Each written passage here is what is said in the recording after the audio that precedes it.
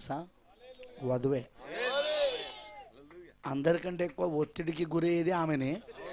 సంతోషంగా ఉండేది కూడా ఆమెనే. ఎందుకు అంటే ఆమెకు తెలుసు ఒత్తిడికి గురైనప్పుడు ఆ ఒత్తిడిని ఎలా విడిచిపెట్టాలో తెలుసు ఆమెకు. ఆ సూత్రము ఆ పాలసీ ఆల్రెడీ మనకు మన ప్రవక్త ఇచ్చేశాడు. ఒత్తిడి విడిచి విడిచిపెట్టడానికి వర్తమానంలో ఆయన ఆ సూత్రాన్ని మనకు బోధించేశాడు. మనం ఆ సూత్రాన్ని వెంబడించినంతసేపు ఒత్తిడికి మనం గురి కావాల్సిన అవసరము లేదు. వస్తాయి ఒత్తిళ్ళు వస్తాయి సమస్యలు వస్తాయి. సాతానుడు చాలా దాడి చేస్తాడు.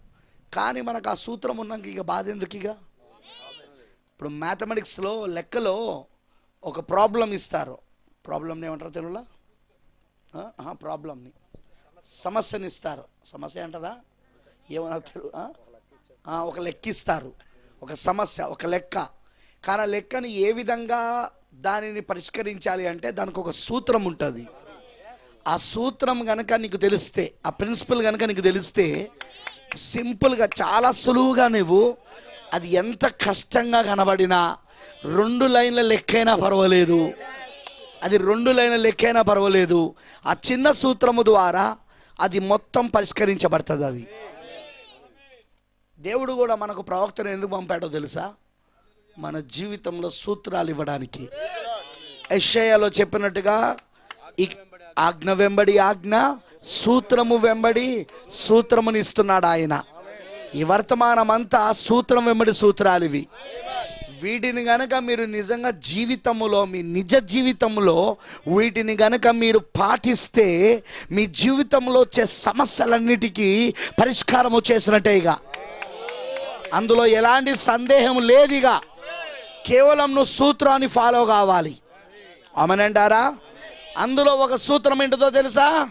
ఒత్తిడిని విడిచిపెట్టుట. ఒత్తిడిని ఎలా విడిచిపెట్టాలో ప్రపంచంలో ఎవరికి తెలియదు. అందుకే మత్తు పానలకు బానిసలైపోతున్నారు. మద్యమునకు బానిసలైపోతున్నారు. నానా రకమైన వాటికి బానిసలైపోతున్నారు. ఒత్తిడిని తట్టుకోలేక కొంతమంది ఆత్మహత్యలు చేసుకుంటున్నారు. కొంతమంది హత్యలు చేస్తున్నారు. ఒత్తిడిని తట్టుకోలేక. కానీ ఒత్తిడిని తట్టుకోగలగడమే కాదు. ఒత్తిడిని అసలు పూర్తిగా విడిచిపెట్టగలిగే ఏకైక సూత్రము దేవుడి కాలంలో మన ప్రవక్త ద్వారా ఇచ్చాడు. అందుకే వధువు సంతోషంగా ఉంటుంది. ఒత్తిడి లేనప్పుడు సంతోషమే కాదు ఇక. ఇప్పుడు ఒక మనిషిని బాధ పెట్టేది ఒత్తిడి. ఆ ఒత్తిడే లేకపోతే ఇప్పుడు మనిషికి ఏమవుతున్నది? సంతోషం. అందుకే ఈరోజు వధువుకున్నంత సంతోషం ప్రపంచంలో ఎవ్వరికీ లేదు. ప్రైజ్ లాడ్ భూమిపైన అందరికంటే సంతోషకరమైన జనులు వధువై ఉన్నారు. మరి అలాంటి సంతోషకరమైన జనులుగా మీరు ఉన్నందుకు సంతోషంగా లేదా మీకు? ఏమాన్ హలలుయా మరి ఉదయము ఎంతమంది వచ్చారో చేతులు పైకెత్తండి. ఓ చాలామంది వచ్చారే. దేవుడికి స్తోత్రం. కొద్దిమంది మాత్రమే రాలేదన్నమాట. మరి ఉదయము మీరు ఆనందించారా? బాప్తిజమంలో కూడా ఆనందించారు కదూ? బాప్తిజం జరిగింది మాకు. తడిసిపోయాం బాప్తిజమంలో కూడా ఆనందించారు కదూ? ప్రైజ్ లాడ్ హలలుయా అర్థమైందా? పొద్దున్న చెప్పిన subject? Cream of the crop. ఇప్పుడు ఈ పంట యొక్క ఫలం ఇది. వాగ్దానాలన్నీ ఇప్పుడు ఎవరిలో నెరవేర్పు జరుగుతున్నాయి? ఈ ఏడవ సంఘకాలంలో ఉన్న వధువులో. మరి చాలా విషయాలు నేను దాంట్లో బోధించాను. మరి ఈ రాత్రి కూడా నేను ప్రకటన గ్రంథం మీదనే మాట్లాడాలని ఆశిస్తున్నాను. ఏమైనా హలలు దానికి కారణం ఏంటంటే అన్ని పుస్తకాలను విప్పిన పుస్తకం ఏదంటే ప్రకటన గ్రంథం. అన్ని అందుకే మన ప్రవక్త ప్రకటన గ్రంథములో నుండి వచ్చిన ప్రవక్త ఆయన. అవ ప్రాఫిట్ మన ప్రవక్త ప్రకటన గ్రంథములో నుండి వచ్చిన ప్రవక్త ఆయన. ప్రకటన గ్రంథంలో నుండి ఎందుకు వచ్చాడో మీకు ఇప్పుడు అర్థమవుతుంది. Amen hallelujah so let's turn to the Bible యోహాను రాసిన ప్రకటన గ్రంథము. యాక్చువల్గా ఇది యేసుక్రీస్తు యొక్క ప్రత్యక్షత గ్రంథం అని ఉంటుంది ఇంగ్లీష్లో. The revelation of Jesus Christ అని ఉంటుంది. యాక్చువల్గా ఇంగ్లీష్లో. యేసుక్రీస్తు యొక్క ప్రత్యక్షత గ్రంథం. ఒకడో అధ్యాయము.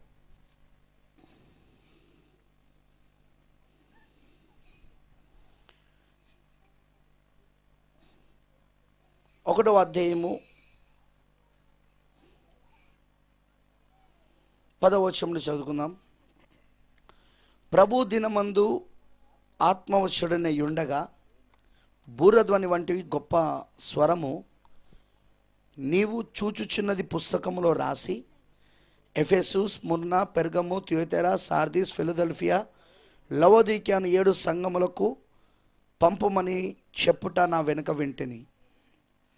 ఇది వినగా నాతో మాట్లాడుచున్న స్వరమేమిటో అని చూడ తిరిగి తిని తిరగగా ఏడు సువర్ణ దీపములను దీపస్తంభములను ఆ దీపస్తంభముల మధ్యను మనిషి కుమారుని పోలిన ఒకరిని చూచి తిని ఆయన తన పాదముల మట్టుకు మట్టునకు దిగుచున్న వస్త్రము ధరించుకొని రొమ్మునకు బంగారు దట్టి కట్టుకొని ఉండెను. ఆయన తలయు తల వెంట్రుకలను తెల్లని ఉనిన పోలినవై హిమమంతా ధవలముగా ఉండెను. ఆయన నేత్రములు అగ్ని జ్వాలల వలె ఉండెను. ఆయన పాదములు కొలమిలో పుటము వేయబడిన మెరుచిన అపరంజమితో సమానమై ఉండెను.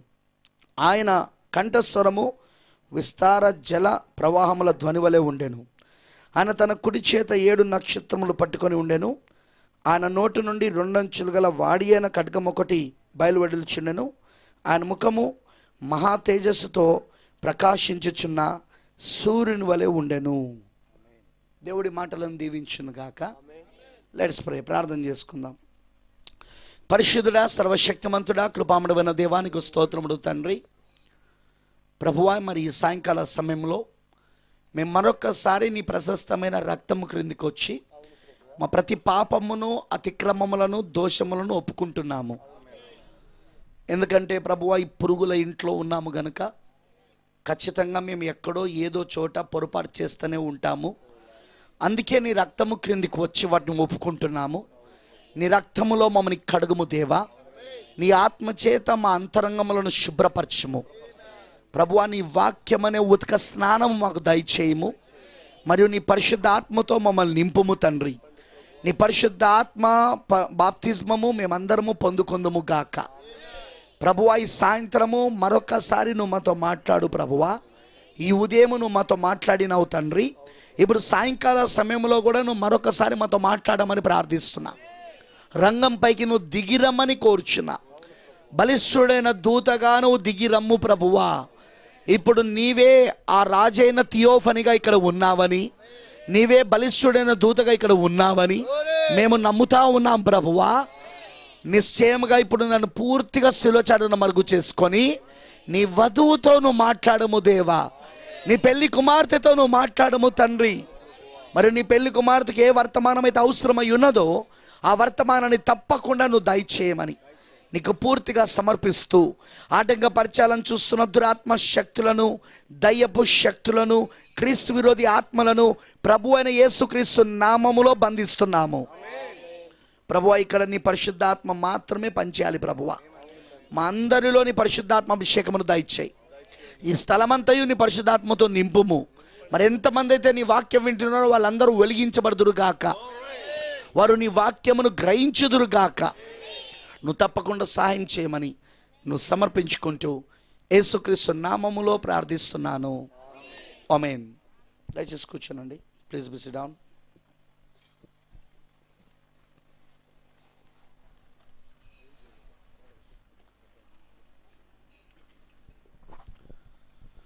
క్రీస్తునందు ప్రేమైన దేవుని పిల్లలందరికీ మరి మరొకసారి ప్రభు క్రీస్తు నామములో ఈ యొక్క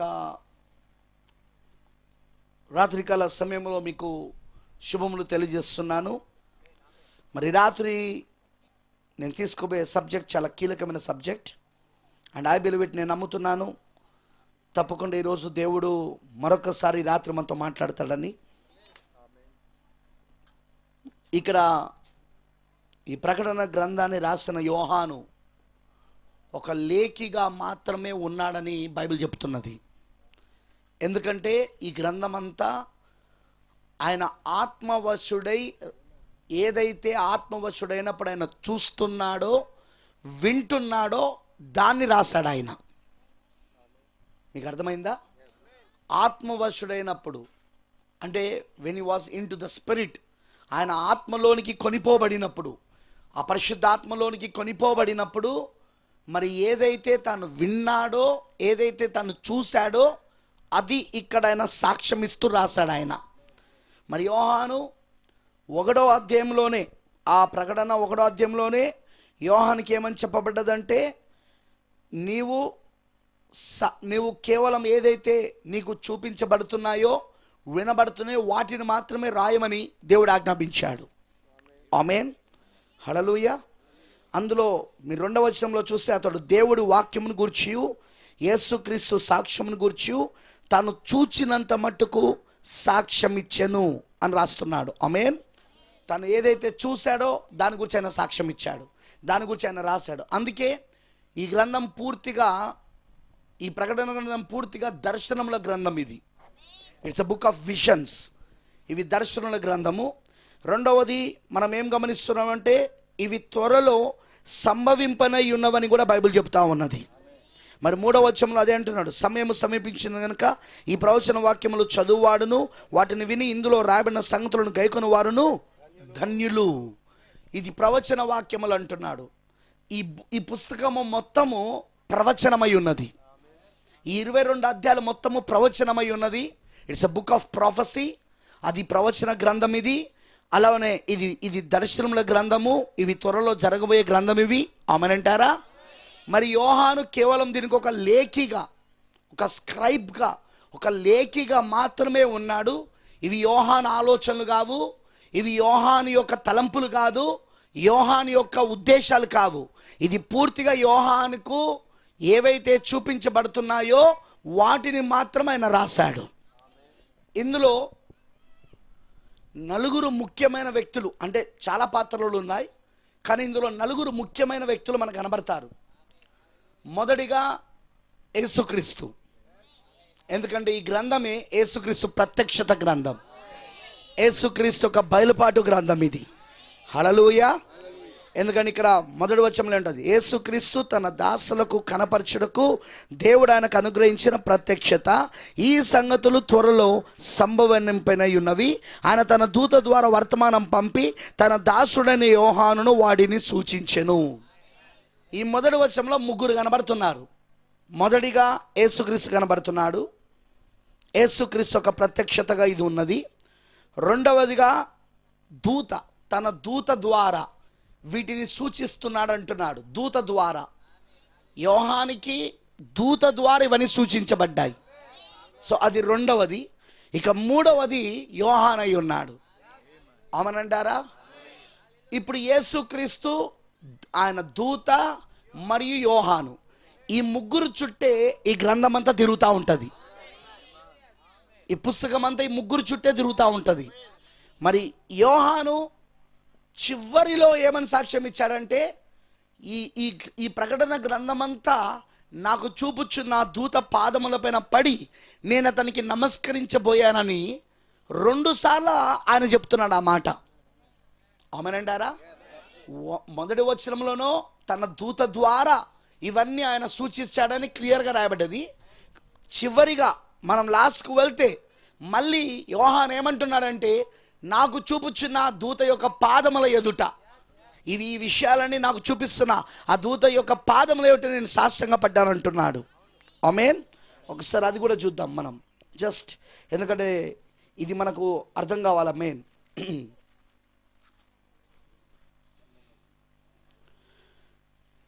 మొదటిగా మనము ప్రకటన పంతొమ్మిదో అధ్యాయంలో చూద్దాము.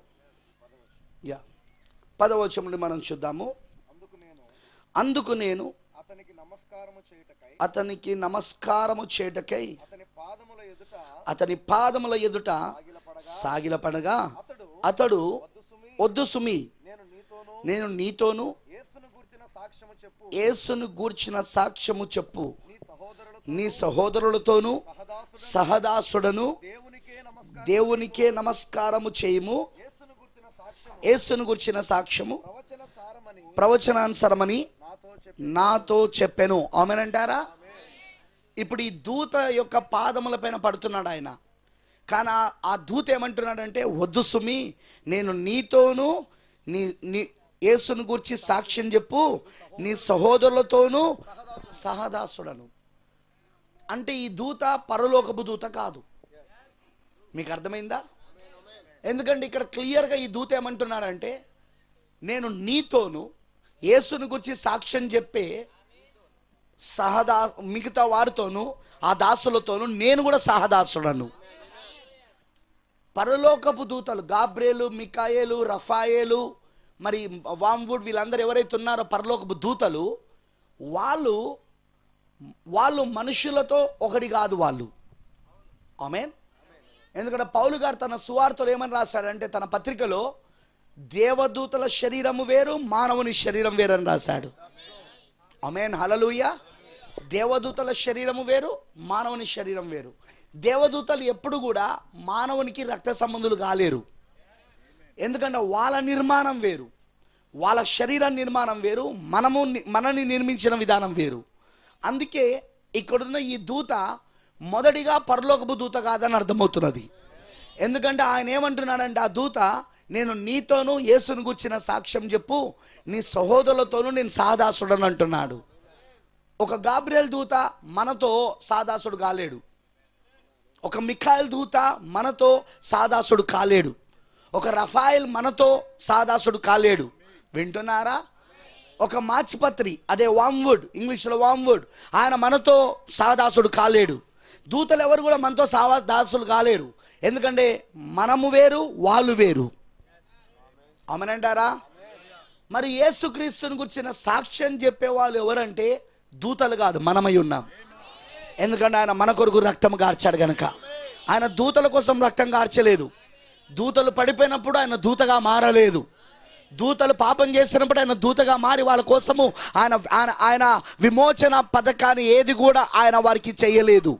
కానీ మానవుడు పడిపోయినప్పుడు మాత్రం దేవుడు మానవుడు అయ్యాడు విమోచన పథకాన్ని ఆయన అమలుపరిచాడు ఆయన అక్కడ. ఏమాన్ హళలుయా సో కాబట్టి ఎప్పుడైనా గుర్తుంచుకోండి వాళ్ళు వేరు మనం వేరై ఉన్నాం. ఇప్పుడు ఇంకోసారి కూడా మళ్ళీ యోహాను ఇదే పని చేస్తున్నాడు ఇరవై రెండో అధ్యాయంలో. ఇరవై రెండో అధ్యాయం ఎనిమిది వచ్చిన ఒకసారి చూడండి అందరు కూడా. యోహాను నేను యోహానను నేను ఈ సంగతులను వినినవాడును చూచినవాడను. నేను విని చూచినప్పుడు. గమనించారా మాట? వాటిని నాకు చూపుచున్న. దూత పాదములు ఎదుట. దూత పాదముల ఎదుట నమస్కారం చేయుటకు నమస్కారము చేయటకే సాగిలపడగా. మీరు గమనించారా? చూసారా ఇప్పుడు? ఇప్పుడు యోహానికి ఏవైతే చూపించబడ్డాయో అవన్నీ కూడా ఒక దూత చేత చూపించబడ్డాయి. ఆమె యోహాను క్లియర్గా వేస్తున్నాడు యోహానను నేను యోహానను నేను ఈ సంగతులను వినినవాడను. ప్రత్యక్ష అనుభవము కలిగిన వాడు ఫస్ట్ హ్యాండ్ ఎక్స్పీరియన్స్ ఫస్ట్ ప్రత్యక్ష అనుభవం కలిగిన వాడు నేను చూచిన వాడను వినిన వాడను చూచిన నేను విని చూసినప్పుడు వాటిని నాకు చూపుచున్నా. మొదటి వచనంలో చెప్పబడ్డది కదా. ఆయన ఒక దూతను వీటన్నిటిని సూచించుటకు యోహాన్ దగ్గరికి పంపబడ్డాడని. హలలుయ ఇప్పుడు ఆ దూతను గుర్చే ఇక్కడ చెప్తున్నాడు. నేను విని చూచినప్పుడు వాటిని నాకు చూపుచున్నా. దూత పాదములు లేయుట నమస్కారము చేయుటకై సాగిలపడగా అతడు వద్దు సుమి నేను నీతోను నీతోనూ ప్రవక్తలైన నీ సహోదరులతోను నీ సహోదరులతోనూ ఈ గ్రంథమందున్న వాక్యములను గైకొని వారితోను సహదాసుడను దేవునికే నమస్కారము చేయమని చెప్పాను. ప్రైజ్ లోడాలూయా మీరు పట్టుకున్నారా? ఏమంటున్నాడు ఆ దూత? నేను నీతోనూ ప్రవక్తలైనా. గాబ్రియల్ దూత ఎప్పుడైనా ప్రవక్త కాగలడా? హడలుయ మికాయలు ఎప్పుడైనా ప్రవక్త కాగలడా? వినబడతలేదు నాకు. లేకపోతే ఇంకా ఎవరైనా పరలోకపు దూతలు ప్రవక్తలు కాగలరా? లేదు లేదు వాళ్ళు కాలేరు. ఆమెనంటారా అంటే ఈ దూత మనకు అర్థమవుతుంది ఏంటంటే ఇతను ఒక సహోదరుడని యోహానికి మనకొక సహోదరుడని మరియు మరియు దేవుని దాసులకు దేవుని దాసులతో పాటు ఇతను కూడా సహదాసుడని మరియు మరి మరియు మరియు ప్రవక్తలకు ఈయన ఈ ప్రవక్తలకు కూడా ఈయన ఒక సహోదరుడని అంటే ప్రవక్త లాంటి వారిలో ప్రవక్తలు ఎవరైతే ఉన్నారో వారి లాంటిలో ఈయన కూడా ఒకడని. ఆమేన్ హలలోయ ఆయన చెప్పిన సాక్ష్యాన్ని బట్టి మనకు అర్థమవుతా ఉన్నది. ఆమె మొదటిగా యేసుక్రీస్తు. రెండవదిగా దూత. ఇక్కడ దూత అంటే పరలోకపు దూత కాదు. మనకు అర్థమైపోయింది. ఈయన ఒక ప్రవక్త అయి ఉన్నాడు. ఈయన ఒక సహదాసుడై ఉన్నాడు. ఈయన ఒక సహోదరుడై ఉన్నాడు. ఆమె మూడవదిగా యోహాను. ఈ మూడు క్యారెక్టర్స్ ఈ మూడు పాత్రలు మనకు ప్రకటన గ్రంథంలో ముఖ్యంగా కనబడుతున్నాయి. ఆమెన్. ఇందులో యోహాను ఈ ప్రకటన గ్రంథమును రాసేటప్పుడు ఆయన ఏమంటున్నాడో చూద్దాం ఇప్పుడు. ఇప్పుడు చదుదాం ఒకటో అధ్యాయంలోనికి వెళ్దాం మళ్ళీ ఒకసారి. యోహాను ప్రకటన గ్రంథంలో మొదటి అధ్యాయంలో ఏమంటున్నాడో చూడండి.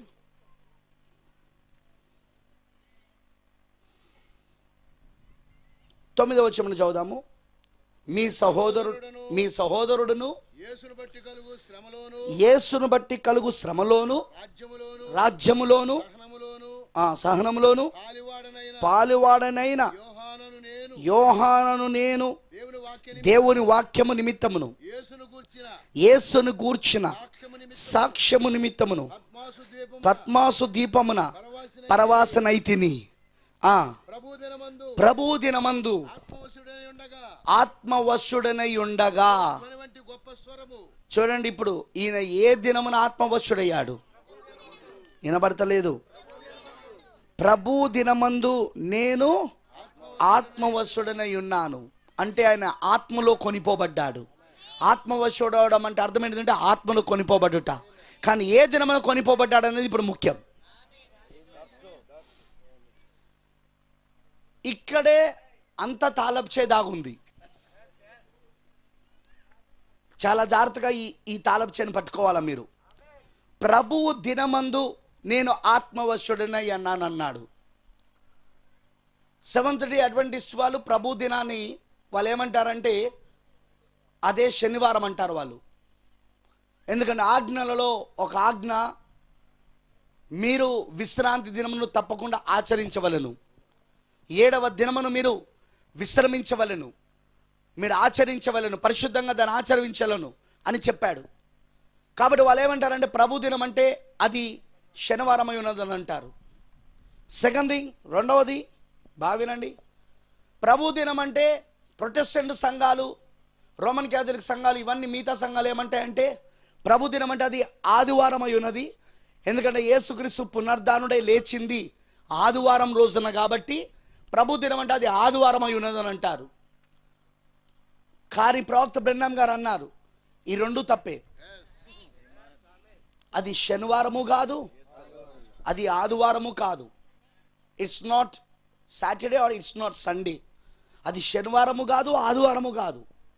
ఎందుకంటే ఇక్కడ యోహాను చెప్తున్న ప్రభు దినం ఏదైతే ఉందో ఆ దినము శనివారం కిందికి రాదు ఆదివారం కిందికి రాదు అది మరి చరిత్రకారుల ప్రకారముగా యోహాను పద్మాసు దీపంలో పరవాసిగా ఎన్ని రోజులు ఉన్నాడంటే రెండు సంవత్సరాలు ఉన్నాడు క్రీస్తు శకము తొంభై ఐదు తొంభై ఆరు సంవత్సరాలు. రెండు సంవత్సరాలు ఆయన ఆయన ఆ పద్మాస దీపములో ఆ చెరసాలో ఆ బహిరంగ చెరసాలో ఉన్నాడు. మరి యోహాని ఇరవై రెండు అధ్యాయాలను బాగా వినండి. యోహాని ఇరవై రెండు అధ్యాయాలను ఆయన ఎక్కడ రాశాడు అంటే ఈ పద్మాసు దీపములో పరవాసుగా ఉన్న సమయములో ఆయన ప్రభుదనమందు ఆత్మవశుడై ఈ రెండు ఈ రెండు సంవత్సరాలలో రాశాడు. వింటున్నారా? అర్థమైన వాళ్ళందరూ హలో చెప్పండి. యోహాను దీన్ని ఎప్పుడు రాశాడంటే రెండు సంవత్సరాలు. ఒక్క రోజులో ఒక్క రాత్రిలో చూసి రాయలేదు ఇది. ఇట్ టుక్ టూ ఇయర్స్ అది రెండు సంవత్సరాలు పట్టింది. అంటే శనివారం ఇప్పుడు రెండు సంవత్సరాలు ఉందంటావా? లేక ఆదివారం ఇప్పుడు రెండు సంవత్సరాలు ఉన్నదంటావా? లేదు. ప్రవక్త బ్రహ్మ గారు ఏమన్నారంటే ప్రభు దినమందు ఇప్పుడు యోహాను ఆత్మవశుడేనని రాశాడు. What is the Lord's day ప్రభు దినం ఏంటి అసలు? ప్రభువు దినము అది తీర్పు దినం అది. రెడీగా ఉండండి. ప్రభువు దినం ఏంటిదంటే అది తీర్పు దినం అది. ఇట్స్ ఎ జడ్జ్మెంట్ డే మీరు బైబిల్లో చూస్తే ప్రభు దినమును గురించి బైబిల్లో ఎన్నో చోట్ల రాయబడి ఉంది. అందులో మనకు బాగా తెలిసిన ప్రవచనాలు మలాకి నాలుగులో కనబడతాయి నాలుగో అధ్యాయం ఒకటో వచ్చినాం చూడండి ఒకసారి. మలాకి నాలుగో అధ్యాయం ఒకటో వచ్చినాం.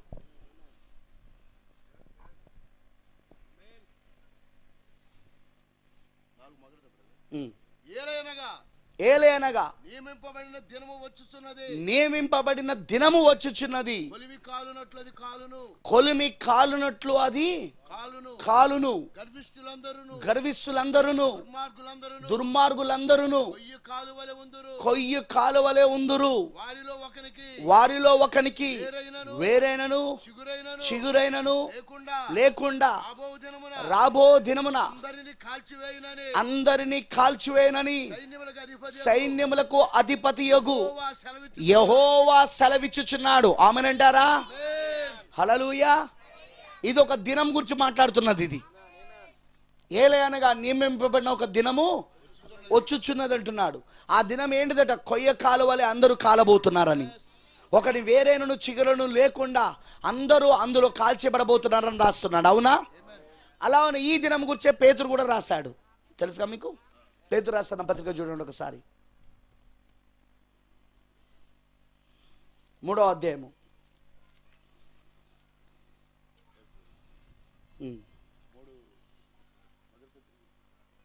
రెండో పత్రికనా? మూడో పత్రిక? రెండో పత్రిక రైట్ రెండో పత్రిక రెండో పత్రిక ఎనిమిది వచ్చాము చూడండి. రెండో పత్రిక మూడో అర్థం ఎనిమిది వచ్చినాము పేతురు రాసిన పత్రికలో ఆ ప్రియులారా ఒక సంగతి మర్చిపోకుడే. ఒక సంగతి మర్చిపోకుడి. ఏమనగా? ఏమనగా? ప్రభు దృష్టికి. ప్రభు దృష్టికి. ఒక దినము. ఒక దినము. వెయ్యి సంవత్సరముల వలెను. వెయ్యి సంవత్సరములు ఒక దినము వలె ఒక దినము వలె ఉన్నవి. కొందరు ఆలస్యమని ఎంచుకున్నట్లు ప్రభు తన వాగ్దానమును ప్రభు తన వాగ్దానమును ఆలస్యము చేయువాడు కాడు. ప్రభు తన వాగ్దానమును గూర్చి ఆలస్యము చేయువాడు కాదు గాని ఎవడును నశింపవలనని ఇచ్చేయింపక అందరూ మారు మనసు అందరూ మారు మనసు పొందవలనని కోరుచు మీ ఎడల దీర్ఘ శాంతము గలవాడై ఉన్నాడు. ప్రభు దినము ఆ. అయితే ప్రభు దినము దొంగ వచ్చినట్లు వచ్చును. ఆ దినమున ఆకాశములు మహాధ్వనితో గతించిపోవును. పంచభూతములు పంచభూతములు అంటే తెలుసు కదా భూమి ఆకాశము నీరు గాలి నిప్పు. వీటిని పంచభూతములు అంటారు రైట్? పంచభూతములు కుటమైన మిక్కిటమైన వేండ్రముతో లయమైపోవును. భూమియు దాని మీద ఉన్న కృత్యములు కాలిపోవును. ఇవన్నీ ఇట్లు. లయమైపోవును గనుక. ఆకాశములు రవులుకొని లయమైపోవునట్టు పంచభూతములు పంచభూతములు మహావేంద్రము మహావేంద్రముతో పోవునట్టు కరిగిపోవునట్టు దేవుని దినపు రాకడ కొరకు కనిపెట్టుచు. దానిని ఆశతో అపేక్షించుచు. మీరు పరిశుద్ధమైన ప్రవర్తనతోనూ భక్తితోను ఎంతో జాగ్రత్త గలవారై ఉండవలను అయినను మనం అయినను మనం ఆయన వాగ్దానమును బట్టి క్రొత్త ఆకాశము కొరకును క్రొత్త భూమి కొరకును కనిపెట్టుచున్న కనిపెట్టుచున్నాము. ఆమేన్. వాటి యందు నీతి నివసించును. ప్రభు దినం గురించి మాట్లాడుతున్నాడా పేతురు? మలాకో ఏలేగా ఏలేనగా నియమింపబడిన ఒక దినం వస్తుందన్నాడు. మరియు ఆ నియమింపబడిన దినము కొలిమి కాలినట్టు కాలుతుందన్నాడు. హలలోయ అదే అదే పేదరు గారు ఏమంటున్నారంటే తన పత్రికలో ప్రభు దినము రాబోతున్నది. అది పంచభూతములు మిక్కిటమైన వేండంతో కాలిపోబోతున్నది. భూమిపై ఉన్న కృత్యములని కాలిపోబోతున్నాయి. ఆమెన్. ఆకాశములు రవులుకోబోతున్నాయి. చెప్తున్నాడా లేదా అది? సో అది ఏంటిది అది? జడ్జ్మెంట్ డే ఆ దినం ఏంటిది ఇప్పుడు అది? ప్రభు దినం అంటే ఇప్పుడు తీర్పు దినం అది. అంటే యోహాన్ ఇప్పుడు క్రీస్తు శకం తొంభై ఐదు తొంభై ఆరో సంవత్సరములో పద్మాసు దీపములో ఉండగా ఆయన ఇప్పుడు ప్రభు దినమందు ఆత్మవశుడైనని రాశాడంటే ఇప్పుడు ఆయన ఏ దినానికి వచ్చాడు ఇప్పుడు ఆయన? బాగా వినండి ఇప్పుడు నేను చెప్పేది. ఆయన ఇప్పుడు తీర్పు దినానికి వచ్చాడు ఆయన. జడ్జ్మెంట్ డే తీర్పు దినం. మరి ఆ తీర్పు దినమునకు వచ్చి అంటే ఇప్పుడు ఆయన ఆత్మవశ్యుడై ఆ తీర్పు దినంలో ఆత్మవశ్యుడై ఇప్పుడు ఆయన వెనుకకు చూస్తున్నాడు ఇప్పుడు ఆయన. ముందుకు చూస్తలేడు ఆయన. అర్థమైన వాళ్ళందరూ ఆమె చెప్పండి. హలలుయ ఎందుకంటే దీపస్తంభములు ఎక్కడున్నాయంటే యోహానుకు వెనకాల ఉన్నాయి. ఇప్పుడు చదువుదాం మళ్ళీ. తొమ్మిదవ వచనం నుండి. తొమ్మిదవ వచనం నుండి ఇప్పుడు చదువుదాం. మళ్ళీ ఒకటో అధ్యాయం తొమ్మిదో వచ్చాం ప్రకటన. సారీ పదో వచనం నుండి. పది. ప్రభు దినమందు ఆత్మవశ్యుడనై ఉండగా. భూరధ్వని వంటి గొప్ప స్వరము. నీవు చూచుచున్నది? పుస్తకములో రాసి Ephesus Smyrna Pergamum Thyatira Sardis Philadelphia Laodicea Laodicea అను ఏడు సంగములతో పంపుమని చెప్పుట పంపుమని చెప్పుట నా వెనక వింటిని.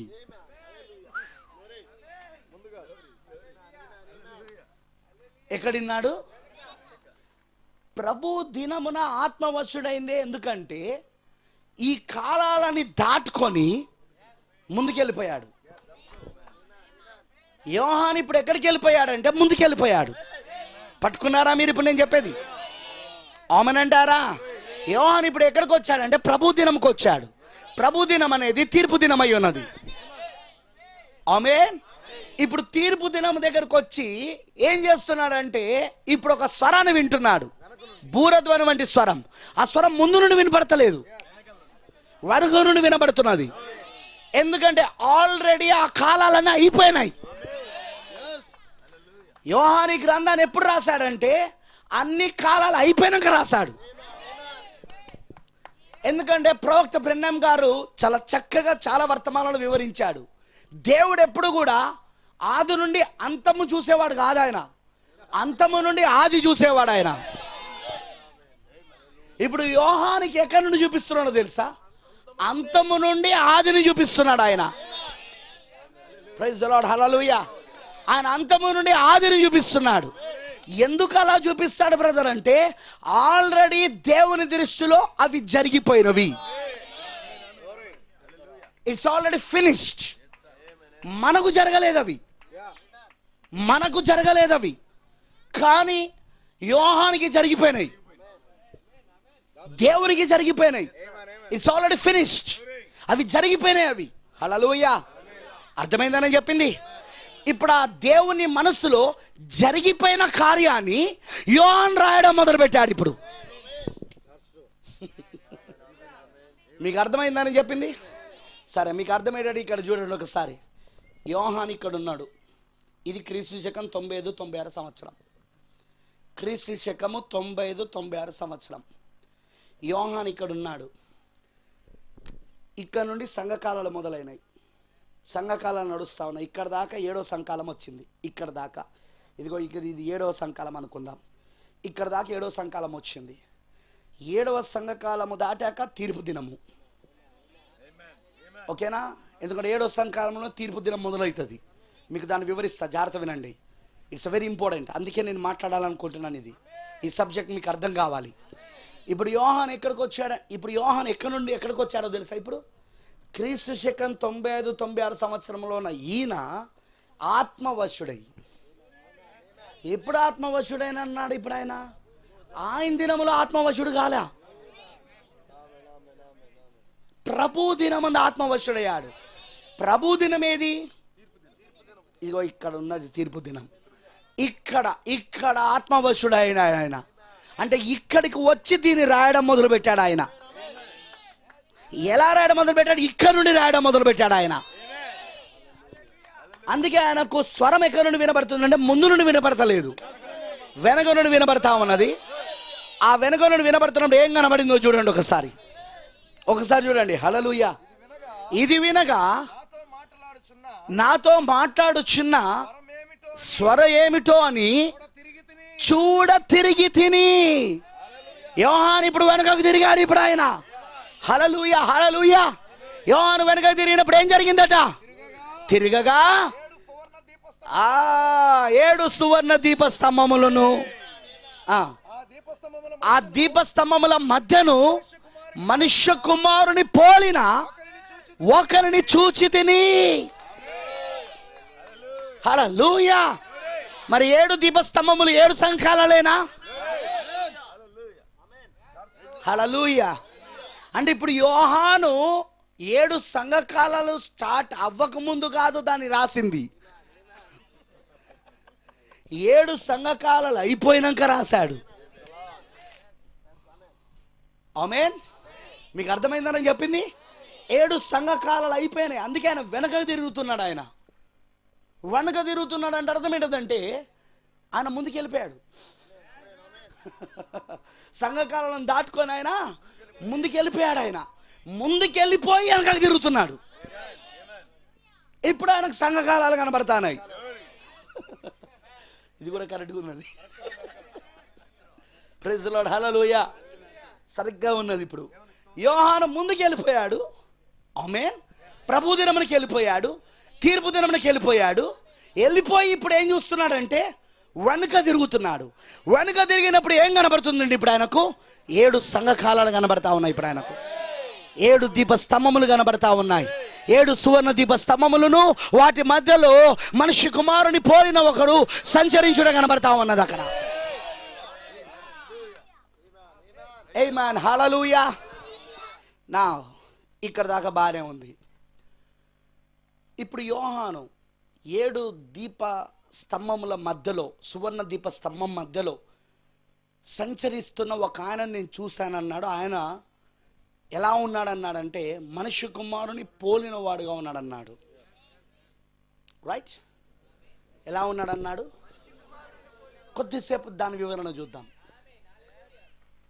యోహానికి మనిషి కుమారుడు తెలియదా? ప్రకటన గ్రంథం రాసిన యోహానికి మనిషి కుమారుడు ఎవరో తెలియదా? మనిషి కుమారుడు అందరికంటే ఎక్కువగా యోహానికే తెలుసు. ఎందుకంటే పన్నెండు మంది శిష్యులలో యోహాను అతి ప్రియమైన శిష్యుడు. ప్రియమైన శిష్యులు ముగ్గురు ఉన్నారు పేతురు యాకోబు యోహాను. కొన్ని సందర్భాలలో వీళ్ళ ముగ్గురిని ఆయన తీసుకెళ్ళాడు. ఉదాహరణ ఆయన ఎత్తైన కొండపైకి రూపాంతరం చెందడానికి వెళ్ళినప్పుడు వీళ్ళ ముగ్గురిని మాత్రమే తన వెంట పట్టుకెళ్ళాడు. యాయిరు కుమార్తెను లేపేటప్పుడు వీళ్ళ ముగ్గురిని మాత్రమే తీసుకెళ్ళాడు లోపలికి. దేర్ ఆర్ సంథింగ్ అలాంటి కొన్ని సంఘటనలు ఉన్నాయి బైబిల్లో. అందులో మళ్ళీ అతి ప్రియమైన వాడు ఎవరంటే యోహాను. ఎందుకంటే యోహాన్ ఎప్పుడు చూసినా యేసు యొక్క రొమ్మున ఆనుకొని ఎప్పుడు ఆయన రొమ్మున ఆనుకొని నడిచేవాడు అనమాట యేసు ఒక రొమ్మున ఆనుకొని ఉండేవాడు. అందుకే సిలువ యొద్ద యేసుక్రీస్తు యోహానును చూశాడు. యోహాను శిష్యులందరూ యేసును విడిచిపెట్టి పారిపోయారు కానీ యోహాన్ ఒక్కడే యేసుక్రీస్తును అంటుపెట్టుకొని ఉన్నాడు. గెర్సమనే తోటలో శిష్యులందరూ పారిపోయారు. యేసును బంధించడానికి వచ్చినప్పుడు. కానీ యోహాను మాత్రం యేసుతోనే వెళ్ళాడు. పిలాతు ఇంటి దగ్గరికి కూడా పిలాతు దగ్గరికి కూడా ఆ కోటికి కూడా యేసుతోనే వెళ్ళాడు.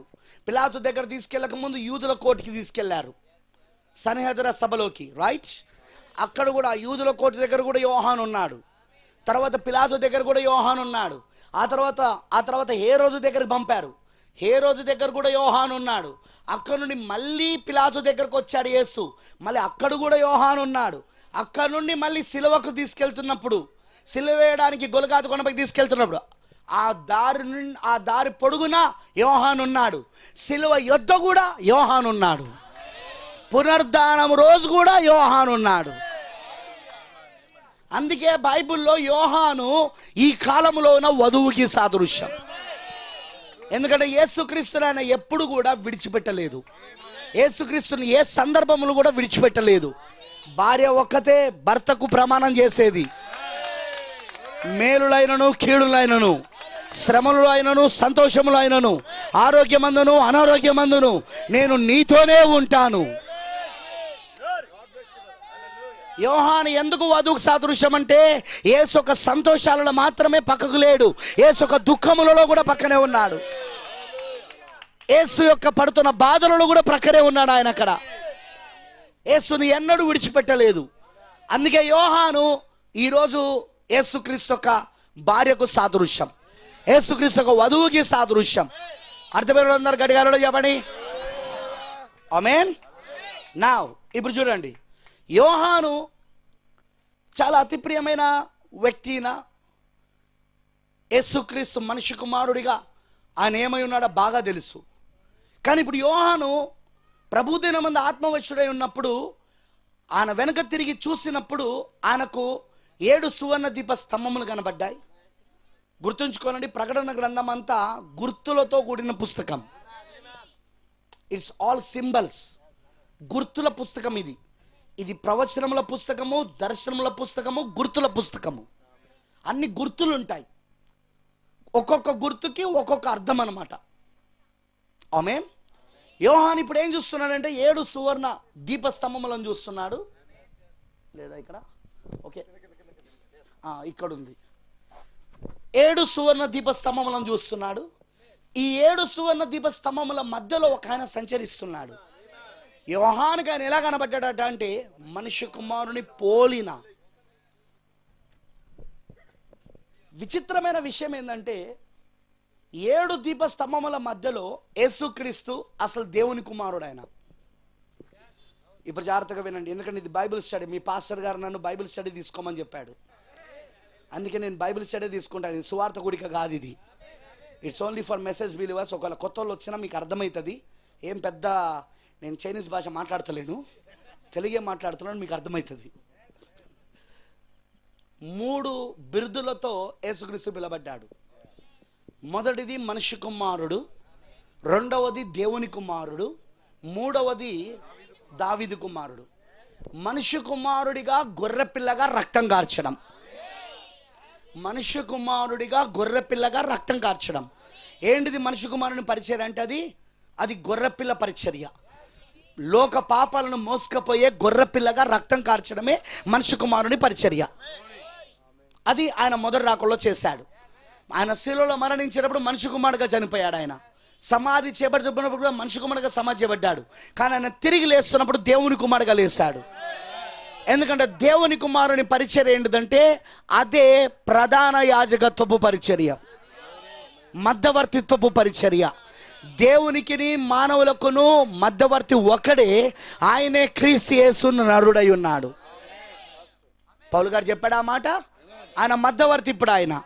అలానే యోహాన్ ఏమంటున్నాడు? ప్రియులారా పరలు తండ్రి యొద్ద ఇప్పుడు మనకు ఒక ఉత్తరవాది ఉన్నాడు మనలో ఎవరైనా పాపము చేసిన ఎడల ఆ ఉత్తరవాది మన పాపముల కోసం శాంతికరంగా ఉన్నాడు ఇప్పుడు ఆయన. ఉత్తరవాది అని తెలుగులో ఉంది ఇంగ్లీష్లో అడ్వకేట్ అని ఉంటుంది. అడ్వకేట్ ఎవరు? వకీలు. వకీలు ఏం చేస్తాడు? నేరములు మోపబడిన వాని గురించి వాదించేవాడే వకీలై ఉన్నాడు అక్కడ. అవునంటారా నేరారోపణ ఎదుర్కొంటున్న వ్యక్తి ఎవరైతే ఉంటారో ముద్దాయిగా ఎవరైతే ఉంటారో ఆ వ్యక్తి తరపున వాదించే వ్యక్తే వకీలు అడ్వకేట్. సో యేసుక్రీస్తు ఈ ఏడు సంఘకాలంలో ఈ రెండు వేల సంవత్సరాల్లో ఆయన మధ్యవర్తిగా వకీలుగా ప్రధాన యాజకుడిగా వింటున్నారా? ప్రధాన యాజకుడిగా ఆయన ఉన్నాడు. ఈ ఏడు సంఘాలలో అంటే దేవుడి కుమారుడుగా ఉన్నాడు ఆయన. ఆమెన్. ఇప్పుడు ఆయన ఎలా రాబోతున్నాడు? దావిది కుమారుడుగా రాబోతున్నాడు. ఏంటిది దావిది కుమారుని పరిచర్య? వెయ్యి ఆయన దావిది కుమారుడిగా పిలువబడడం అంటే అర్థం ఏంటిదంటే దావీదు సింహాసనం పైన కూర్చొని ప్రపంచాన్ని మొత్తం ఆయన పరిపాలించబోతున్నాడు. అదే వెయ్యేళ్ళ పరిపాలన బైబిల్ చెప్తున్నది. అది దావిది కుమారుని పరిచర్య. కానీ యోహానికి ఇప్పుడు యేసుక్రీస్తు ఎలా కనబడుతున్నాడు అంటే మనిషి కుమారుడుగా కనబడుతున్నాడు. సంఘకాలంలో ఆయన మనిషి కుమారుడు కాదు. దేవుని కుమారుడు. డ్యూ క్యాచ్ ఇట్ మీరు పట్టుకున్నారా మీరు? సంఘకాలంలో ఆయన మనిషి కుమారుడు కాదు. ఎందుకంటే మనిషి కుమారుడు గొర్రెపిల్ల పరిచర్య. గొర్రెపిల్లగా ఆయన ఆల్రెడీ రక్తం చేశాడు గొర్రెపిల్లగా ఆయన ఆల్రెడీ శిలువలో మరణించాడు. గొర్రెపిల్లగా ఆల్రెడీ ఆయన విమోచన పథకాన్ని ప్రారంభించాడు. విమోచన పథకం ప్రారంభమైంది అక్కడ. విమోచన పూర్తి కాలేదు. పథకం ప్రారంభమైంది. విమోచన పథకం ఓకేనా? గొర్రె పిల్లగా ఆయన ప్రారంభించాడు దాన్ని. ఏంటిది మనిషి కుమారుడిగా? కానీ దేవుని కుమారుడిగా విమోచన పథకంలో భాగం ఏంటంటే దేవుని కుమారుడిగా ఇప్పుడు ప్రజల కోసం మధ్యవర్తిత్వం చేయాల? విజ్ఞాపన చేయాల వాళ్ళ కోసం? వాళ్ళ పాపం నిమిత్తం విజ్ఞాపన చేయాలి? ప్రధాన యాజకుడు అదేగా చేసేది. ఓకేనా? ఓకే ఆ తర్వాత నెక్స్ట్ ఇప్పుడు ఇప్పుడు ఆయన మధ్యవర్తిత్వ పని అయిపోయాక ఆయన పని ఏంటిదంటే ఇప్పుడు ఆయన చేయాల్సింది రాజుగా ఈ ప్రపంచాన్ని పరిపాలించాలి. దావిదు కుమారుడిగా రాజులకు రాజుగా ప్రభువులకు ప్రభువుగా ఈ సింహాసనం శాశ్వతమైన సింహాసనాన్ని ఆయన ఈ భూమిపైన స్థాపించి ఎరుశలేములో భూమి యొక్క మధ్యస్థ భాగమైన ఎరుశలేములో ఆయన ఆ సింహాసనాన్ని స్థాపించి దావిదు కుమారుడిగా ఈ ప్రపంచాన్ని ఆయన పరిపాలించాలి. కానీ యోహాను ప్రభు దినమందు ఆత్మవశుడైనప్పుడు ఆయన చూస్తున్నది ఏంటంటే నేను ఒక స్వరం వింటున్నాను. ఆ స్వరం నాతో మాట్లాడుతున్నప్పుడు నాతో మాట్లాడుతున్న స్వరం ఏమిటో అని నేను తిరిగి చూసినప్పుడు నాకు ఏడు సువర్ణ దీప స్తంభములు కనపడుతున్నాయి. ఆ ఏడు సువర్ణ దీప స్తంభముల మధ్యలో మనిషి కుమారుని పోలిన దేవుడు కుమారుడు కాదు. మనిషి కుమారుని పోలిన ఒకని చూసి తింటున్నాడు పైగా పోలిన అంటున్నాడు. మనిషి కుమారుడు కూడా కాదు. మనిషి దేవుని కుమారుడు కూడా కాదు. మనిషి కుమారుని పోలిన నేను ఒకరిని చూశాను అంటున్నాడు. యోహాను నీకు మనిషి కుమారుడు తెలియదా అంటే హండ్రెడ్ పర్సెంట్ తెలుసు. అందరికంటే ఎక్కువ నాకే తెలుసు. ఎందుకంటే ఎప్పుడు ఆయన రొమ్మున ఆనుకొని ఉండేదే నేను. అందరికంటే ఎక్కువ నాకే తెలుసు అంటాడు. మరి మనిషి కుమారుని పోలిన అంటున్నావేంటి? దేర్ ఇస్ ఎ మిస్టరీ అక్కడే ఒక ఒక మర్మం ఉన్నది. ఇప్పుడు ఆ మర్మానికి మనం వెళ్ళే ముందు జాగ్రత్తగా వినండి. యోహాన్ ఇచ్చిన వివరణ అంతా చదువుదాం. ఆ పో- ఆ- మనిషి కుమారుని పోలిన ఒకరిని చూచి తిని అన్నాడు కదా ఆయన ఎలా ఉన్నాడో వివరించాడు అక్కడ. ఓకే? ఆయన ఎలా ఉన్నాడో వివరించాడు. చదువుదాం.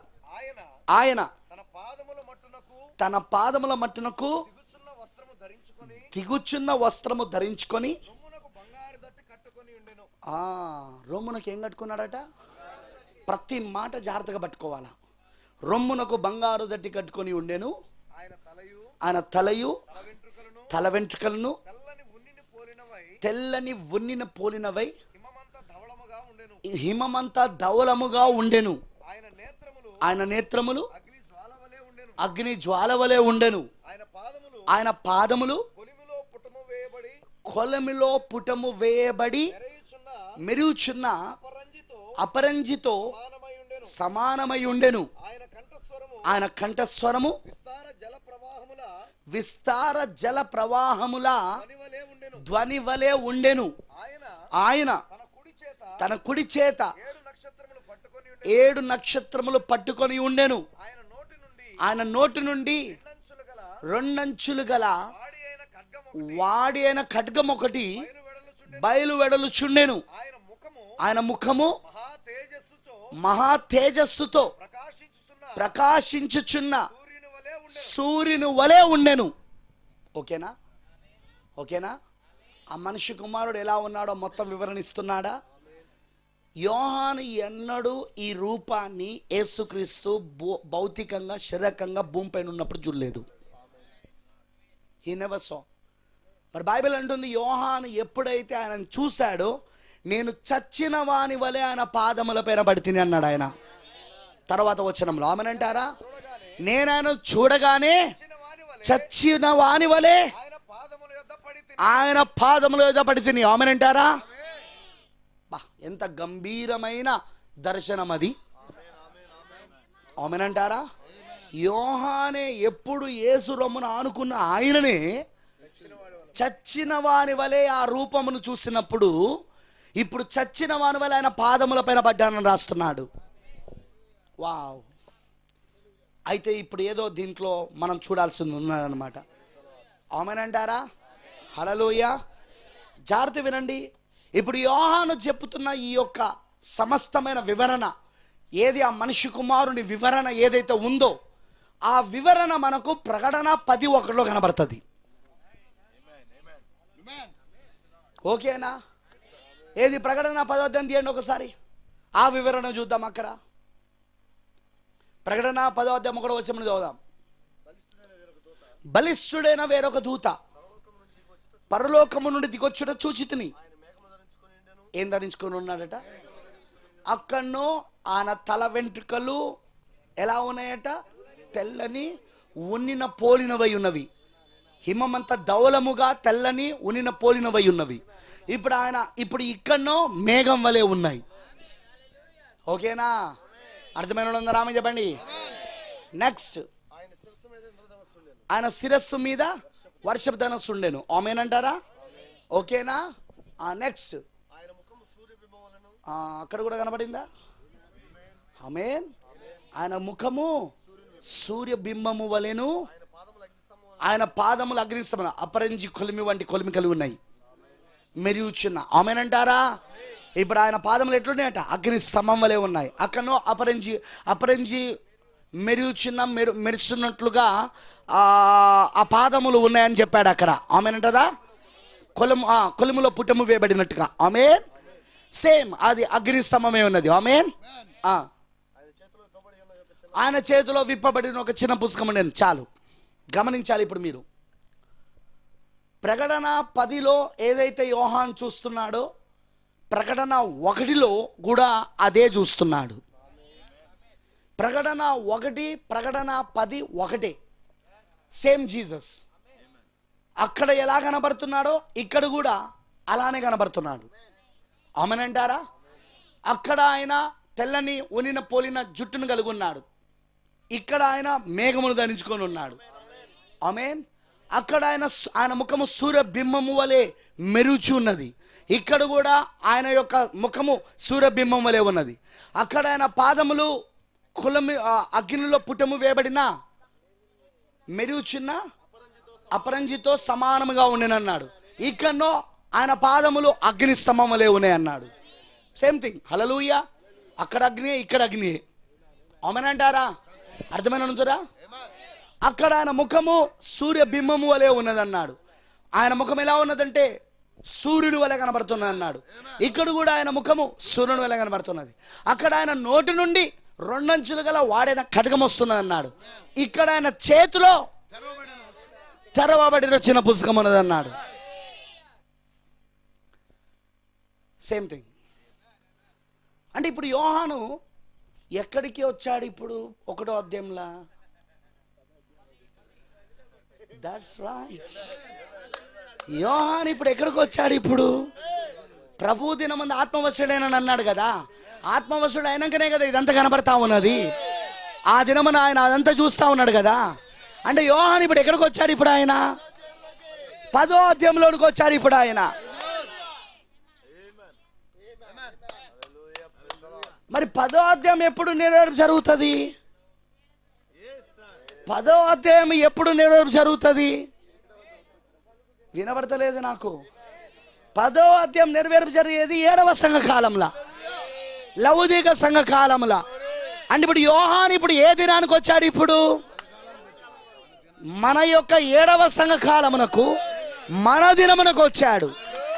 ఎందుకంటే మన దిన ప్రవక్తనే దూతనే యోహానికి ఇప్పుడు అంతా చూపించాలి కాబట్టి.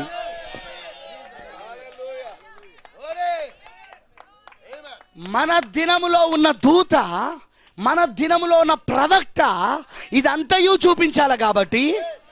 అందుకే యోహాన్ ఇప్పుడు ఆత్మవశుడు ఎక్కడికి వచ్చాడంటే ఏడవ సంకాలములో ప్రకటన పదిలోకి వచ్చాడు ఇప్పుడు ఆయన.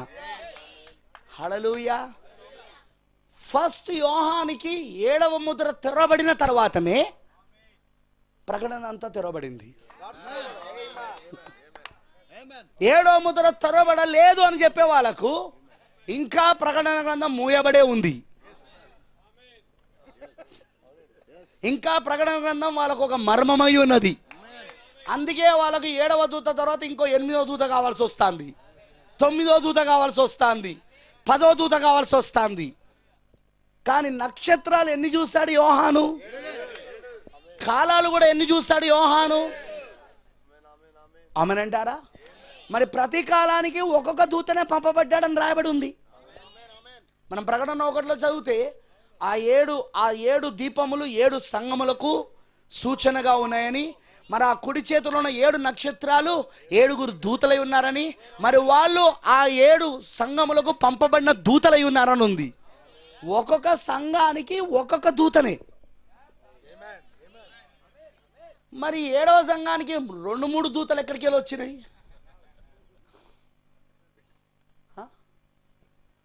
రెండు మూడు దూతలు రావు కదా.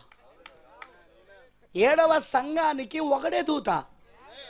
ఆయనే ఒకడే నక్షత్రం ఒకడే దూత.